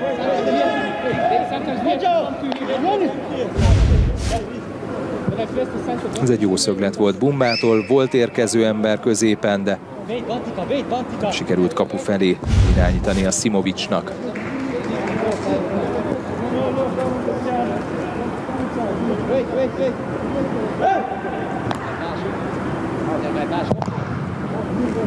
Banai. Ez túlságosan hosszú.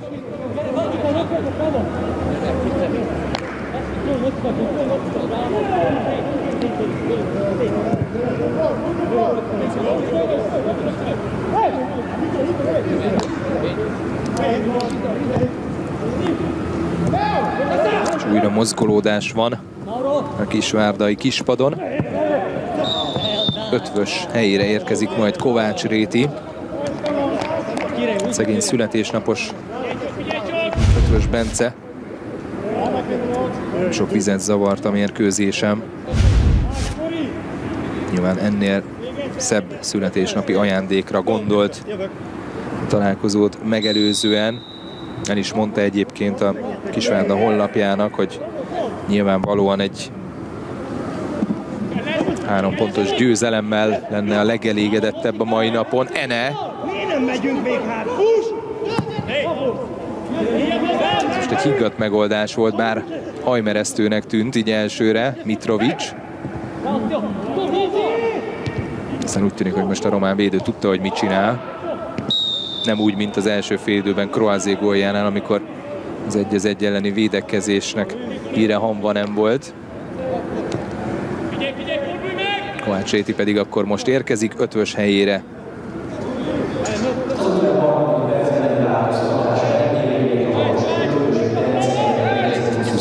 Egy éves fiatal játékos helyett egy még fiatalabb, 20 esztendős Kovács Réti Márk a pályán.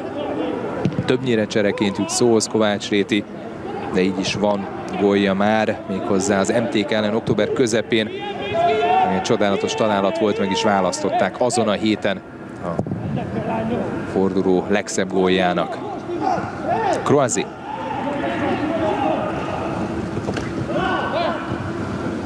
Karabejov.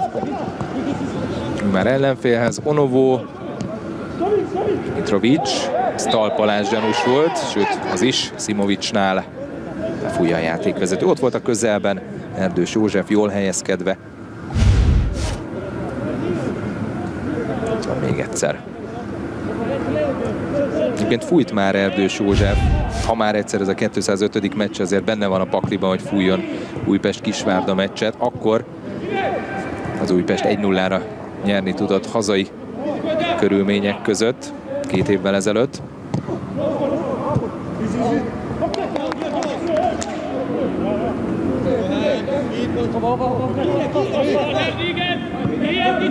Szekerre dobja be. Listevski. Kutrumpis. Tomjevic. Vissza Kastrátihoz. Ez pedig már nem jó. Onovót kereste volna ez a labda a jobb oldalon.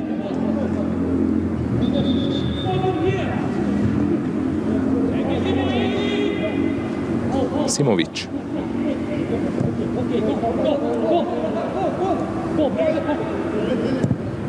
Prenga.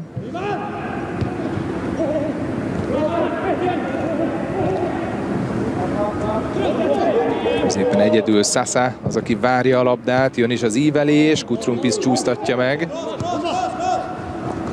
Bumba. Átteszi a ballábára, remek a beadás, és egy gyönyörű jelenet. egy szép ollózás ott középen Vianától. Nyugodtan mondhatjuk, hogy a meccs egyik legszebb jelenete volt, de nem talált célba ez az ollózás Vianától.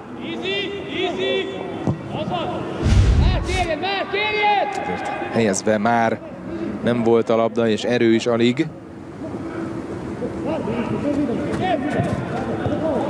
Kovács Réti. Aztán Viana hátra. Simovic lerázza magáról Onovót, és újra a bal oldal. És aztán jön a labda középre. Ezt még a hosszú oldalon el lehet csípni. Karabelyov. Melnyik. Ritkán húzódott előre.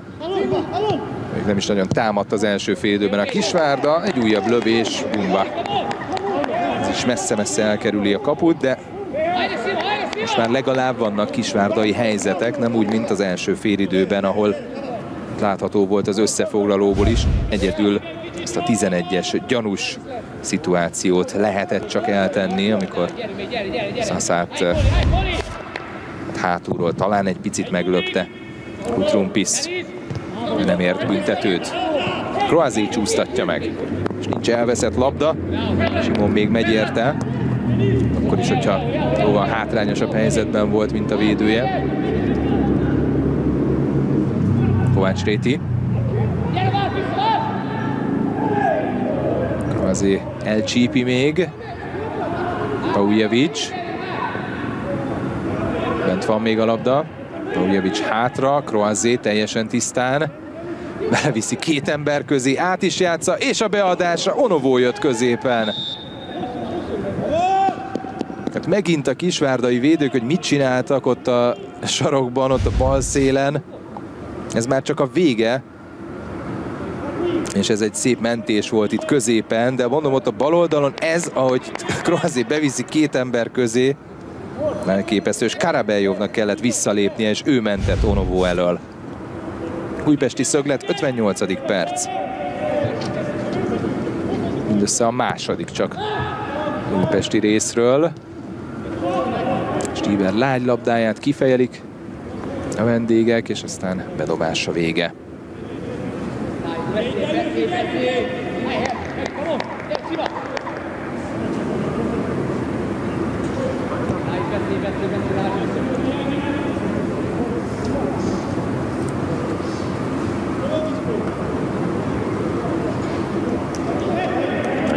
elvégzik az újpestiek ezt a bedobást, de hát nincs miért siessenek.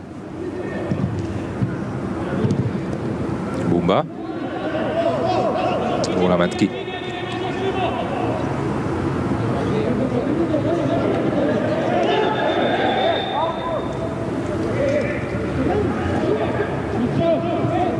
Mitrovic.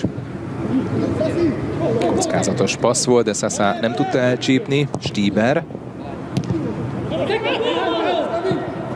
Vázénak nem volt jó, aztán érkezik Szerkére, hogy visszaszerezze a labdát. Sasa. Szépen veszi le. Mitrovic becsúszva sem tudja megállítani a Brazilt. Sasa. A már pontatlan, illetve hát mondjuk azt inkább, hogy Vienna labda átvétele volt rossz. És oda a lehetőség. Sőt, a vége az, hogy újpestiek dobhatnak. Miel Öning.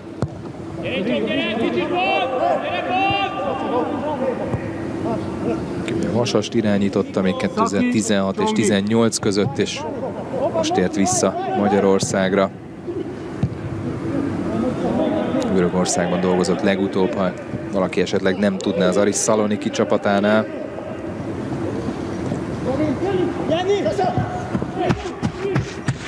Bumba. Rövid a passz, Paujevic, és róla megy ki a labda. És úgy tűnik, hogy kettőt fog cserélni majd az Újpest hamarosan.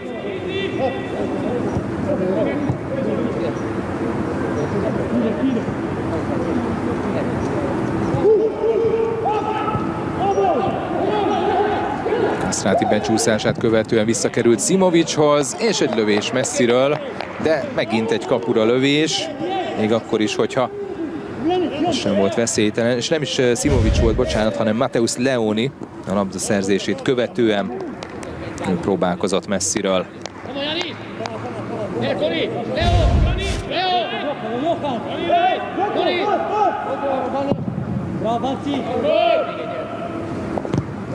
Krazi. Sasa. Egy aprócska falt, pont a játékvezető orra előtt. Mitrovic elnézést is kér Simovic-tól. Nincs harag.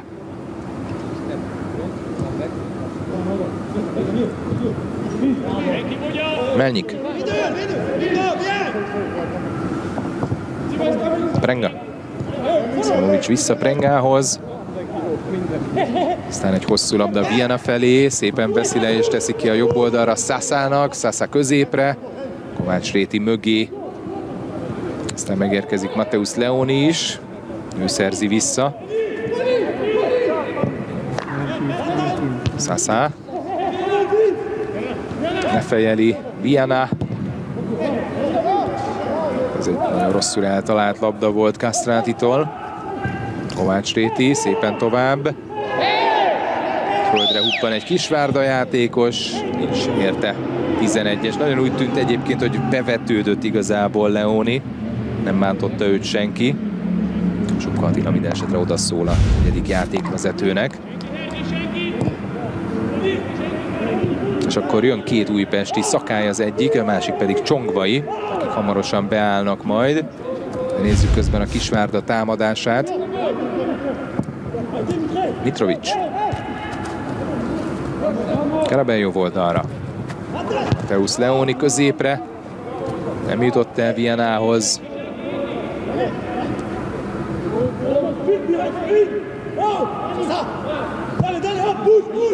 Melnyik.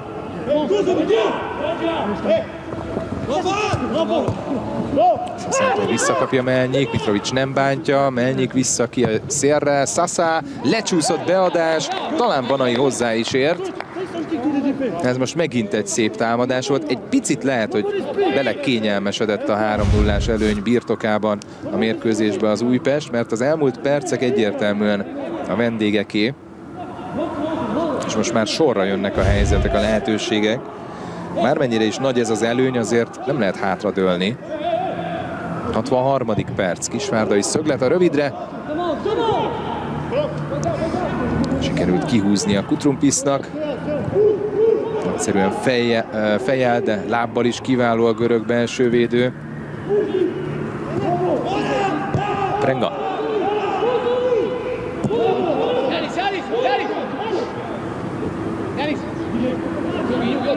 Dombóig kerül vissza a labda. Most rendezi nagyjából a sorait a Kisvárda. Krabeljov.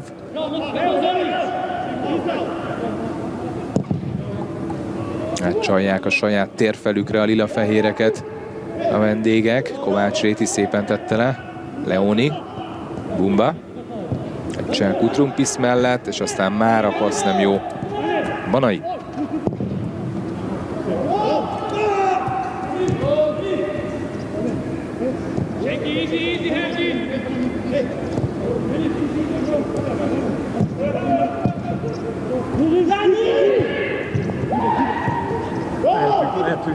Szaszá. Vissza tudja még tenni Kovács Réti. Még egyel tovább Karabeljov, jó a blokk. Aztán Mitrovic felszabadításába is belelépett Bumba, így nem jutott messzire a labda, sőt, Leoni visszaszerzi. Szaszá. Középre pontatlanul, és most szabadíthatnak fel az újpestiek. Sőt, ez még egy ragyogó keresztlabda Szerkerától Simonhoz. Simon egy az egyben lefutja Enét. Középen nem nagyon jönnek a társak. Monovó. Vissza Simonhoz. És inkább hátra ez a biztos.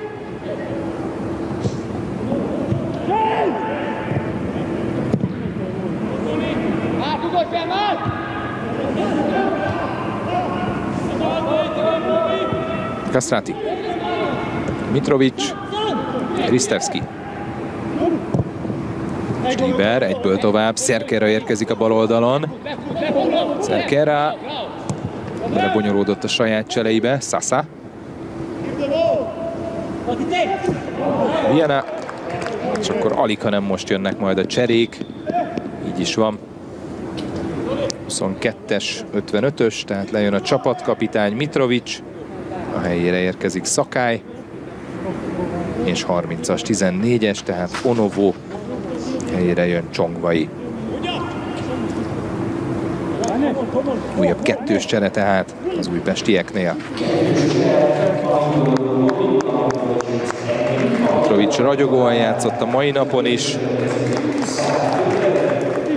Mint ahogy Onovóra sem lehetett panasz. Két középpályás.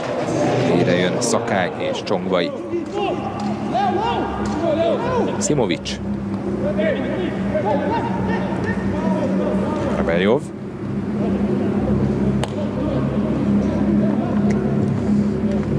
Csongvai Áron 20 esztendős mindössze, de már ebben a szezonban ez a 21. meccse. Többnyire ő cserekként kapott lehetőséget ebben a szezonban.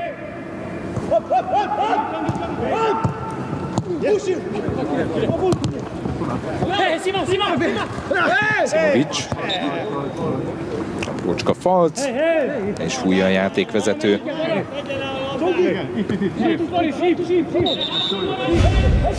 Szakály pedig csereként kap lehetőséget ebben az, ebben az esztendőben. Nagyon rutinos, 34 esztendős korábbi válogatott játékosa a Liláknak. Már így is csereként beállva is van három gólja, legutóbb Pakson volt eredményes február végén. És jön majd Horváth Zoltán, neki adja az utolsó instrukciókat Csuka Attila. Nem hinném, hogy Viana helyére. Már ki tudja, Kovács Réti lágyan benyeste a labdát Sassának. Ez mondhatlan.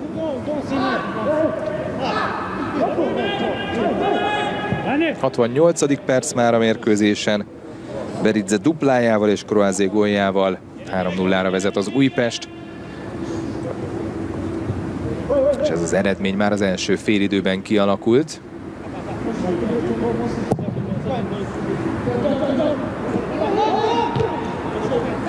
Azért csúsztatja meg. Még elindult Simon. Kire Mitrovic kiválását követően átkerült a csapatkapitányi karszalag. Sasa helyére érkezik Horváth.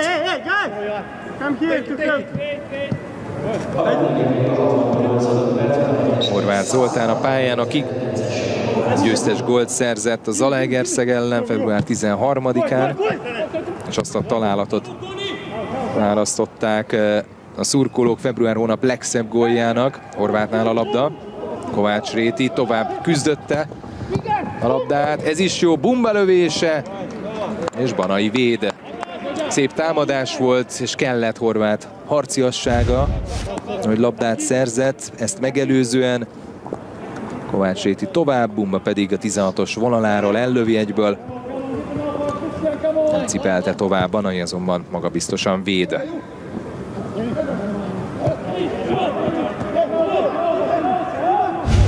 Simovic, Csongvai húzta hátulról. Diana. Horváth. Bele a védőbe. Szakály. Csongvai. Az Kroázénak még ragyogó kiugratás, le is futja Enét. Ó, de szépen csinálta Kroázé. És egy remek védés, mert hogy ne feledkezzünk meg erről sem, Dombó nagyszerűen védett. Kroázé sokkal gyorsabb, mint Ene. Akinek ezen az egész mérkőzésen óriási gondjai vannak az újpesti játékosokkal. És aztán nagyon szép lövés volt, és egy csodálatos védés Dombótól. 11-6 a kapura lövések száma és aránya a meccsen. És hát ez azért a Kisvárda oldaláról a második félidőben javult fel. Jól emlékszem, akkor 9 lövése volt már az első félidőben az újpestieknek. Hát a második játékrészben a 3-0 és a 3 gólos előny birtokában picit mondjam, visszább vettek az agarakkal. jóval kevesebb lehetősége volt a lila-fehéreknek. Hát ez is belefér.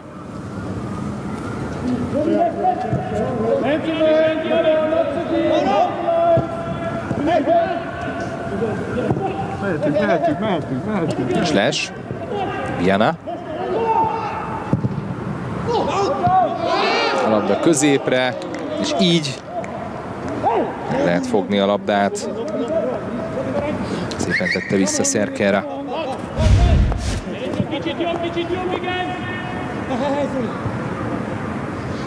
Úgy tűnt, hogy nem volt les a kiugratás pillanatában. És aztán így, ahogy melleltette haza a labdát Szerkera, így aztán ezért nem jár Kisvárda számára. Szabadrugás. Dombó. Leoni. Simovic. Ba. Lesz a Simovicshoz. És a jobb oldal. Melnyik meg is kapja. Előtte Kovács Réti kéri. Kovács Réti. Karabelyov, Bumba. Melnyik. Karabelyov. Most jön a beadás, ami rövid. Ristevski fejeli ki. Leoni. Simovic. Szakály piszkált oda, és ez pont elég volt arra, hogy elveszítse már Simovic a labdát.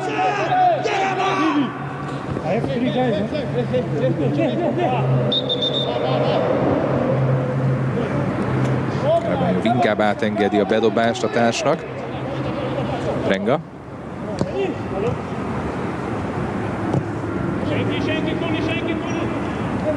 Ene. Ő is átlépi a felező vonalat. Leoni.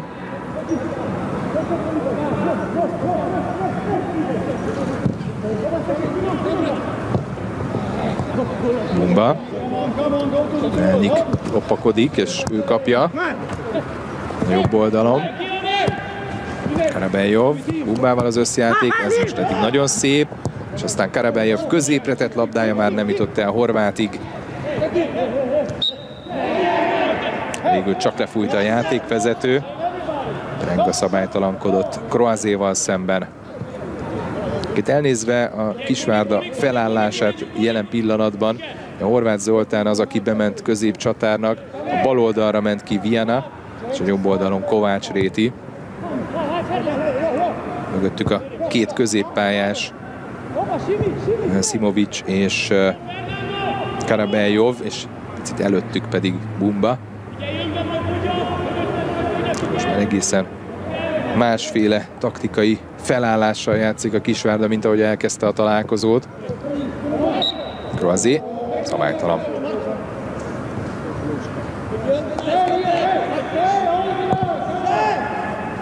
Egy alkalommal volt három gólos különbség a két csapat korábbi mérkőzésein. Akkor is az Újpest nyert három gólos különbséggel, 4-1-re Kisvárdán. Az volt a összességében a második egymás elleni meccsük még 2018 novemberében. Abban a szezonban, 18-19-es szezonban mind a három összecsapást az Újpest nyerte. Aztán az előző idényben kettőt nyert a Kisvárda és egyet az Újpest. Csak hazai sikerek voltak. Ebben a szezonban pedig az elsőt a Kisvárda nyerte, a utóbbit decemberben pedig döntetlene zárult, az az egyetlen döntetlen.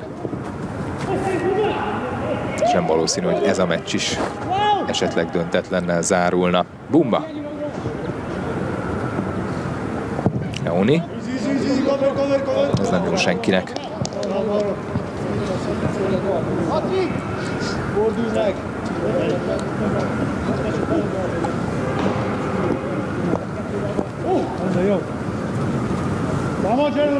És ahogy telnek múlnak a percek, úgy egyre inkább hátradőlhetnek a televízió képernyői előtt az Újpest szurkolók, hiszen bármennyire is a második félidőben jóval többet mutat a Kisvárda, és vannak helyzeteik is, vannak lehetőségeik, de azért a meccset irányítja az Újpest, és tényleg most már csak annyit engednek ki magukból, amennyi feltétlenül szükséges.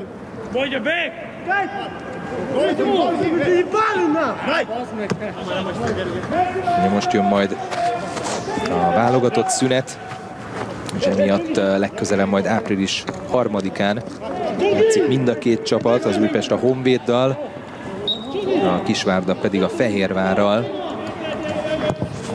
Április 14-ére van kiírva egyébként a két csapat magyar kupa mérkőzése, amit majd Kisvárdán rendeznek.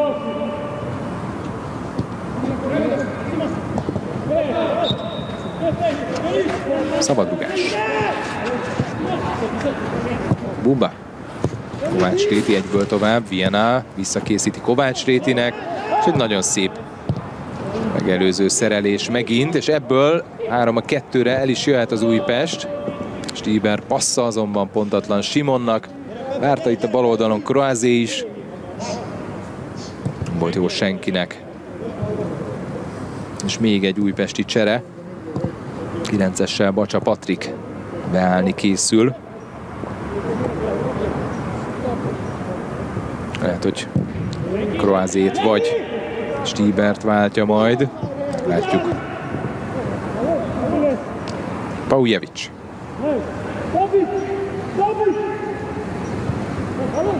Csongvai. Kroázé indul meg, van benne még energia. Kroázé, középen érkezik Stíber. Kroázé. Szépen lefékezte őt Prenga. Csongvai. És már fölért mindenki. És visszazár természetesen a Kisvárda. Hát ha nincs meg gyors indulásból a helyzet, akkor most az újpestiek elkezdik előről az építkezést. Kastráti. Paujevic, pontatlan volt, Kastrátinak kell nagyot mentenie kétszer is, háromszor is.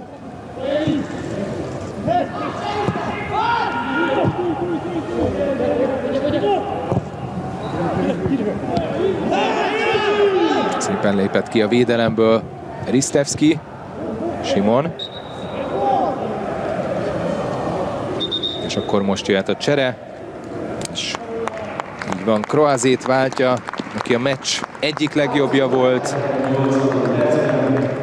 Gyönyörű gólt szerzett, és két gólpaszt adott Kroazé, helyére pedig Bacsa jön a folytatásra. Egy szűk negyed órája Bacsa Patriknak. Mindenképpen a meccs embere volt Kroazé Beridzével együtt.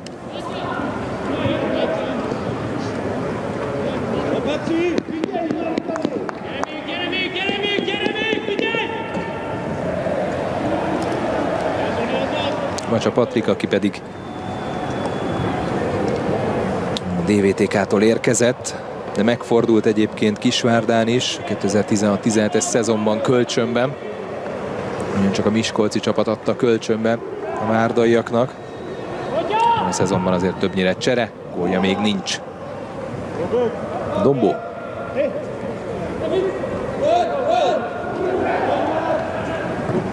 Csonki, csonki!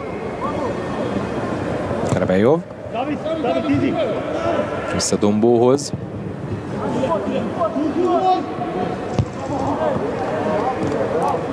Stevski fejelte vissza a labdát.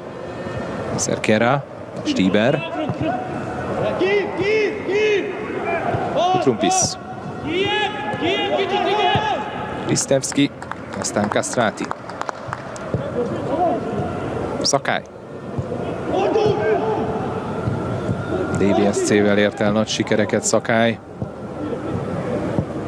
Trumpis. A Panathinaikosszal Görögországban. A ketten nyertek kupát, kupákat. Aztán az újpestiek között jó néhány olyan játékos van, aki van bőven kupa rutinja. Ez majd április 14-én lesz érdekes a két csapat újabb mérkőzésén, és egyben utolsó mérkőzésén a szezonban. Kutrumpis pontatlanul. És azért az mindenképpen a Kisvárda becsületére irandó, hogy nem adták fel, és a második félidőben próbálkoztak becsülettel, voltak helyzeteik, kapura lövésig is eljutottak, méghozzá kaput eltaláló lövésekig is, de hát ez nagyon kevés volt a mai napom. Szerkera. Szakály még lábújheggyel meg tudta pöccinteni, de ott nem volt újpesti játékos. Viana.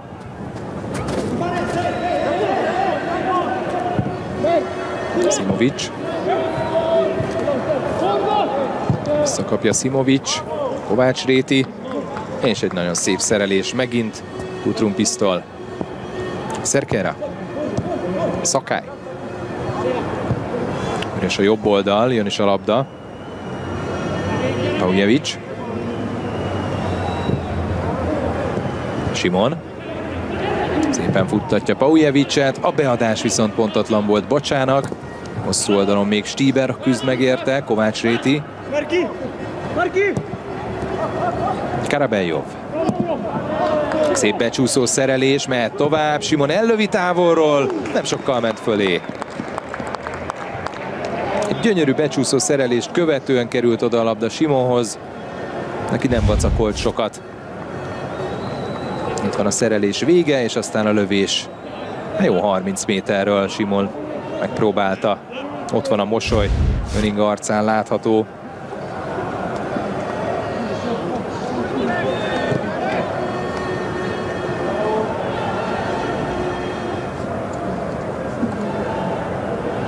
Szép, vidám, napsütéses délután, bár most már a nap lemenőben. El is bújt. De egy, egy nagyon szép délután az Újpest szurkolók számára.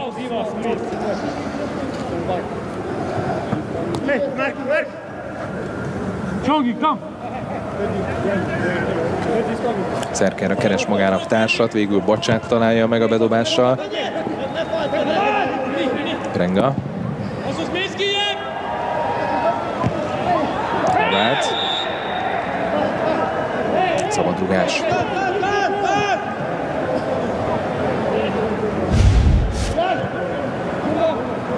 Bumba. Simovic, Karabelyov. Hosszú labda, ez még pontos. Is lehet adni. Leoni be is tudja még tekerni középre. Horváth fejese, és aztán másodjára meg tudja fogni Banai. Egy picit távolabb pattan ki tőle a labda, akkor valószínűleg megvan a Kisvárda szépítő gólja. Így viszont marad a 3-0.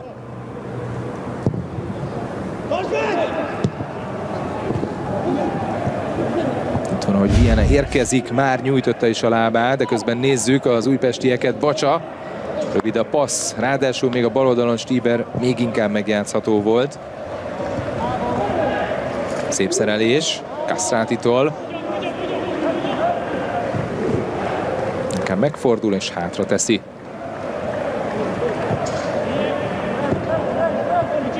Szakály. Paujevic. Trumpis, Listevski.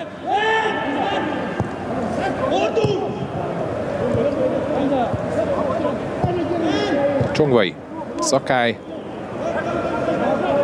Stráti. Magát hozta kellemetlen helyzetbe. Simon. Hat gólja van, utoljára az MTK ellen volt eredményes Simon Krisztián, február 6-án. Aztán utána kellett hagyni a jó néhány mérkőzést.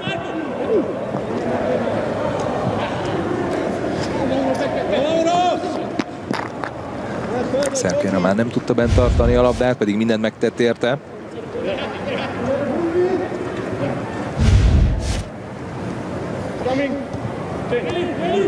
Séti. Simovic.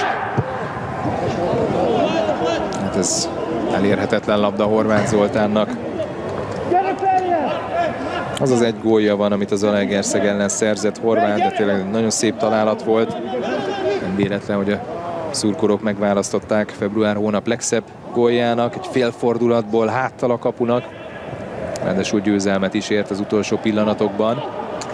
Nézzük most az újpestieket. Szakály el fogja lőni bizony, meg is pattan a labda. Kapu mellé megy. Nem sikerült már ment tartani a Dombónak. Aztán jöhet egy újpesti szöglet. 86. perc már. Nem mondom azt, hogy Kisvárda játékosai beletörődtek az eredménybe, de mindenképpen tűnik, hogy alább hagyott már az ő lendületük is.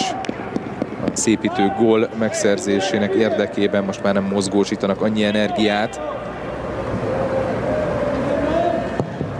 Szerkerre szöglete a rövidre. Volt a csúszatás Kastrátitól.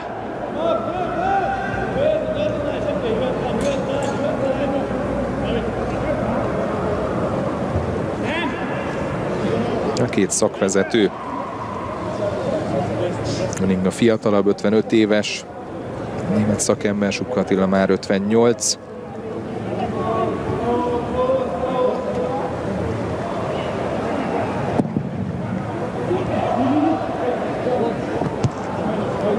Gumba csúsztat, illetve, bocsánat, Melnyik volt az, aki megcsúsztatta a labdát, és most már ő próbálta meg visszaszerezni, miután elvesztette.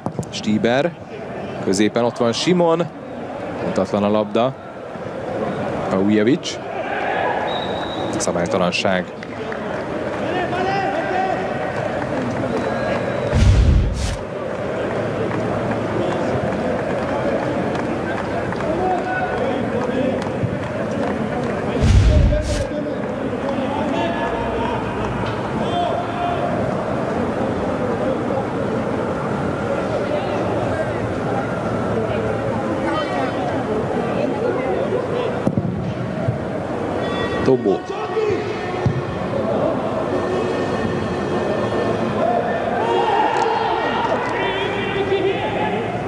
Újpest dobhat, bármennyire is szeretne Mateusz Leoni.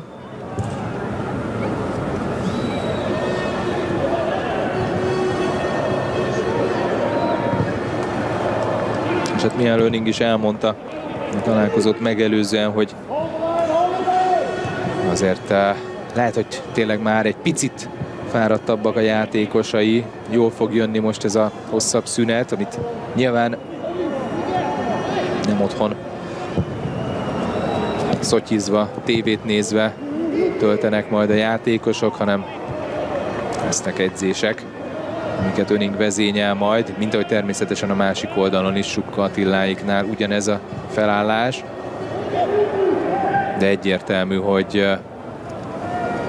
talán a Kisvárda számára jön jobban ez a szünet, már a tekintetben, hogy ők vannak most rosszabb paszban, aztán majd meglátjuk, hogy az Újpest a szünetet követően, hogy jön vissza, mert most ők most nagyon jó formában vannak. Ugye, kupában elődöntőbe jutás a bajnokságban, sorra jönnek a győzelmek, még akkor is, hogyha ugye most legutóbb vereség volt felcsúton, de azt megelőzően volt két siker a bajnokságban. Ez a kérdés, hogy a lila fehéreket mennyire állítja meg ez a válogatott szünet. Bumba lövése messziről a 89. percben, és messze el is kerülte a kaput.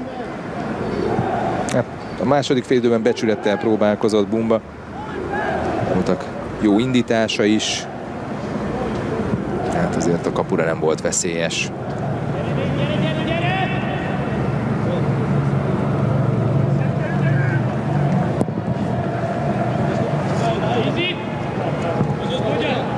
Nem hiszem, hogy sokat fog hosszabbítani a játékvezető, hiszen a fordulást követően sem volt különösebb említésre méltó esemény, ami miatt erre szükség lenne.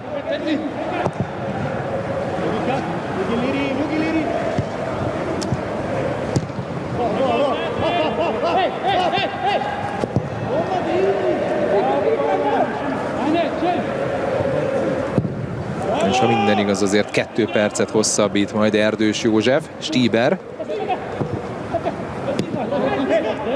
Ez nem volt jó labda a Bacsának. Horváth. Az meg túl pontos Dianának. Jóval előnyösebb helyzetben Kastráti. Hátra is teszi Banaihoz. Utrumpis.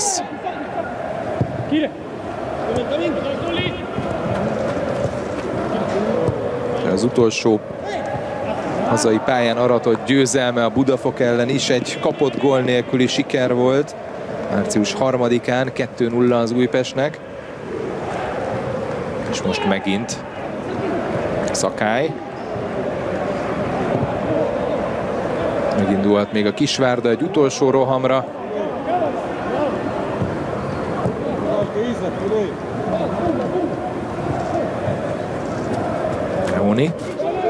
Csongvai állítja meg.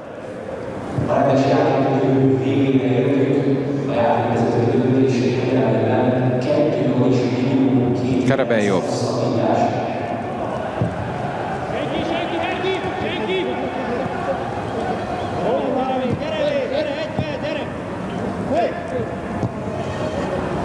És bármennyire is most itt az utolsó pillanatokban, az utolsó percekben a Kisvárdánál van a labda, mindenképpen az, ami elmondható a találkozóról, hogy ez egy nagyon megérdemelt újpesti siker.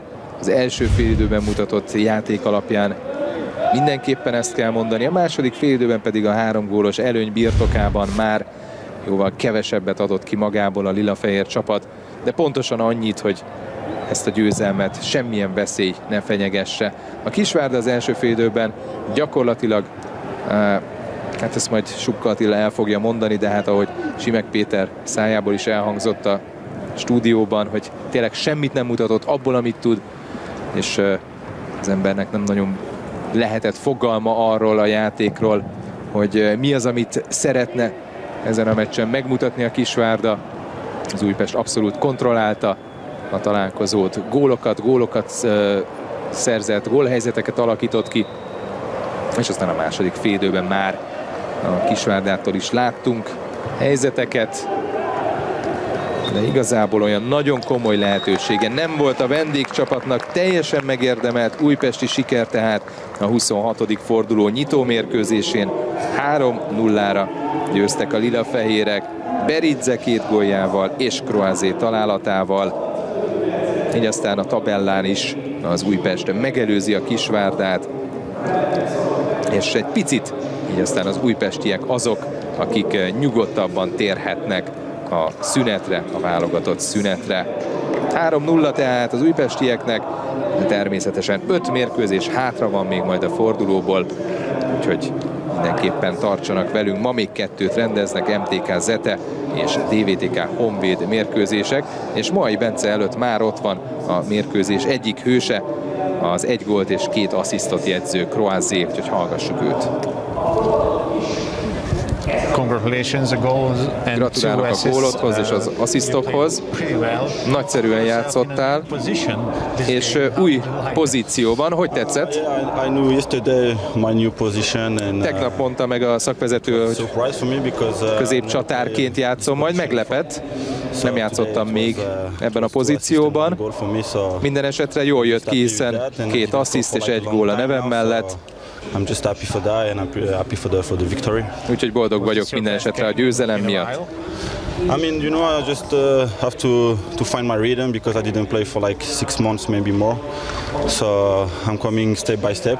So today, Szépen lassan jövök játékba, hiszen uh, volt egy komolyabb kihagyásom. Beridze and Stieber were really, really well with you. Beridzével és Stieberrel nagyon jól megértitek egymást a pályán. Hogy néz ki ez a három csatáros játék? Hát igazából én egy olyan hamis 9-es voltam, vagy hamis 10-es. Megfutottam a területeket. Lassúak voltak a Kisvárda védője mai mérkőzésem. Nagyon jól ment a játék Beridzével és Stiberrel. Köszönöm szépen. A műsorszám támogatója a Liquimoli kenőanyagok forgalmazója, az Autodoktor Horváth Kft. A szurkolás és a műsorszám támogatója a Borsodi. Hát akkor nem csak minket lepett meg Kroázé mai feladatköre és pozíciója, ezek szerint ő is csak tegnap szembesült vele, de bejött? Igen, és a jó játékosokat az jellemző, hogy tulajdonképpen teljesen mindegy, hogy mikor mondják meg neki, hogy mi a feladata, már a mérkőzés előtt természetesen megoldja, és azért fantasztikusan jól megoldotta. Nagyon jó játszott az Újpest, már fél időben ugye beszéltünk róla, hogy akár nagyobb is lehetett volna már fél, idő, fél időre a különbséget, a másik fél időben pedig focizgattak, csak igazából mindenféle megerőltetés nélkül nagyon simán győztek. Hát mondhatjuk azt, hogy 14 perc alatt eldöntötték gyakorlatilag a mérkőzést, mert utána sem változott jelentősen a játékképet, de hát aztán az első fél idő meghozta a végeredményt is, utána pedig menedzselték a második fél időt? Igen, hát ugye kérdés volt az, hogy a Kisvárd, ezért, ezért az a 3-0, az azért szokták azt mondani, hogy a 2-0 a legveszélyesebb eredmény, a 3-0 pedig ilyen szempontból már tulajdonképpen egy olyan eredmény, amivel eldől a mérkőzés. Persze vannak kivételek, de, de ezen a mérkőzésen ez egyértelmű volt. A másik félidőre sem tudott semmilyen formában újítani a Kisvárda. Az Újpestnek pedig meg volt arra a lehetősége és Mihály Löningnek, hogy frissítse a csapatát, hiszen azért egy 120 perces kupameccsen vannak túl, és kihasználva a cseréket mindenkinek adja a játék lehetőséget, ezt meg is tette ennek ellenére nem változott az Újpest játéka, ugyanolyan hatékonyak maradtak, gólt már nem sikerült szerezni, az első fél időben voltak olyan egyéni kiváló teljesítmények, amik eldöntötték az Újpest javára a meccset. Az Újpest a legutóbbi hat meccsen 12 pontot szerzett, és ugye most jön egy hosszabb szünet már klubszinten. Ilyenkor mindig felmerül a kérdés, hogy kinek jó ez, hogy az Újpestnek jó-e ebben a helyzetben, hogy egy kicsit rá tud pihenni a hajrára, vagy a Kisvárdának jó, hogy rendezzék a soraikat? Ez, ez mindig egy nagyon kényes kérdés, mert akkor derül ki nyilván közhelyeket puffogtatva, amikor majd elkezdődik a szünet utáni időszak, és akkor majd látjuk, hogy mennyire eredményes vagy nem a csapat. Én azt gondolom, hogy azért jobb úgy elmenni szünetre, hogy egy sikeres időszakot tudhat a csapat a, a háta mögött, a Kisvárdának pedig mindent ki kell használni annak érdekében, hogy újra felépítse magát, mert ez a mai meccs ez gyenge volt. Újpest tehát így előzött, és ott van a hatodik helyen a tabellán, a Kisvárda pedig, hát akkor most már lefelé pisloghat továbbra is, bár azért pontszámban még jelentős a különbség a 8 pont, ugye? A kieső helyen lévő Budafokhoz képest. Igen, tehát ugye a meccs előtt arról beszéltünk, hogy ez a 34 pont ez elegendő lehet, avagy sem. Szerintem egyébként igen, de hát azért nem egy, egy nagyon-nagyon megnyugtató de nem is a pontoknak a mennyisége, hanem inkább a mutatott játék ö, igazából a mai kétségbejtő. De hát itt van ez a két hét, itt rendbe kell tenni Subka Attiláiknak a sorokat, hiszen azért ennél jóval több van ebbe a kisvárdában. Na, hamarosan folytatjuk, mert hogy jön a forduló második mérkőzése az MTK és az Alegerszeg összecsapása, úgyhogy ne menjenek messzire.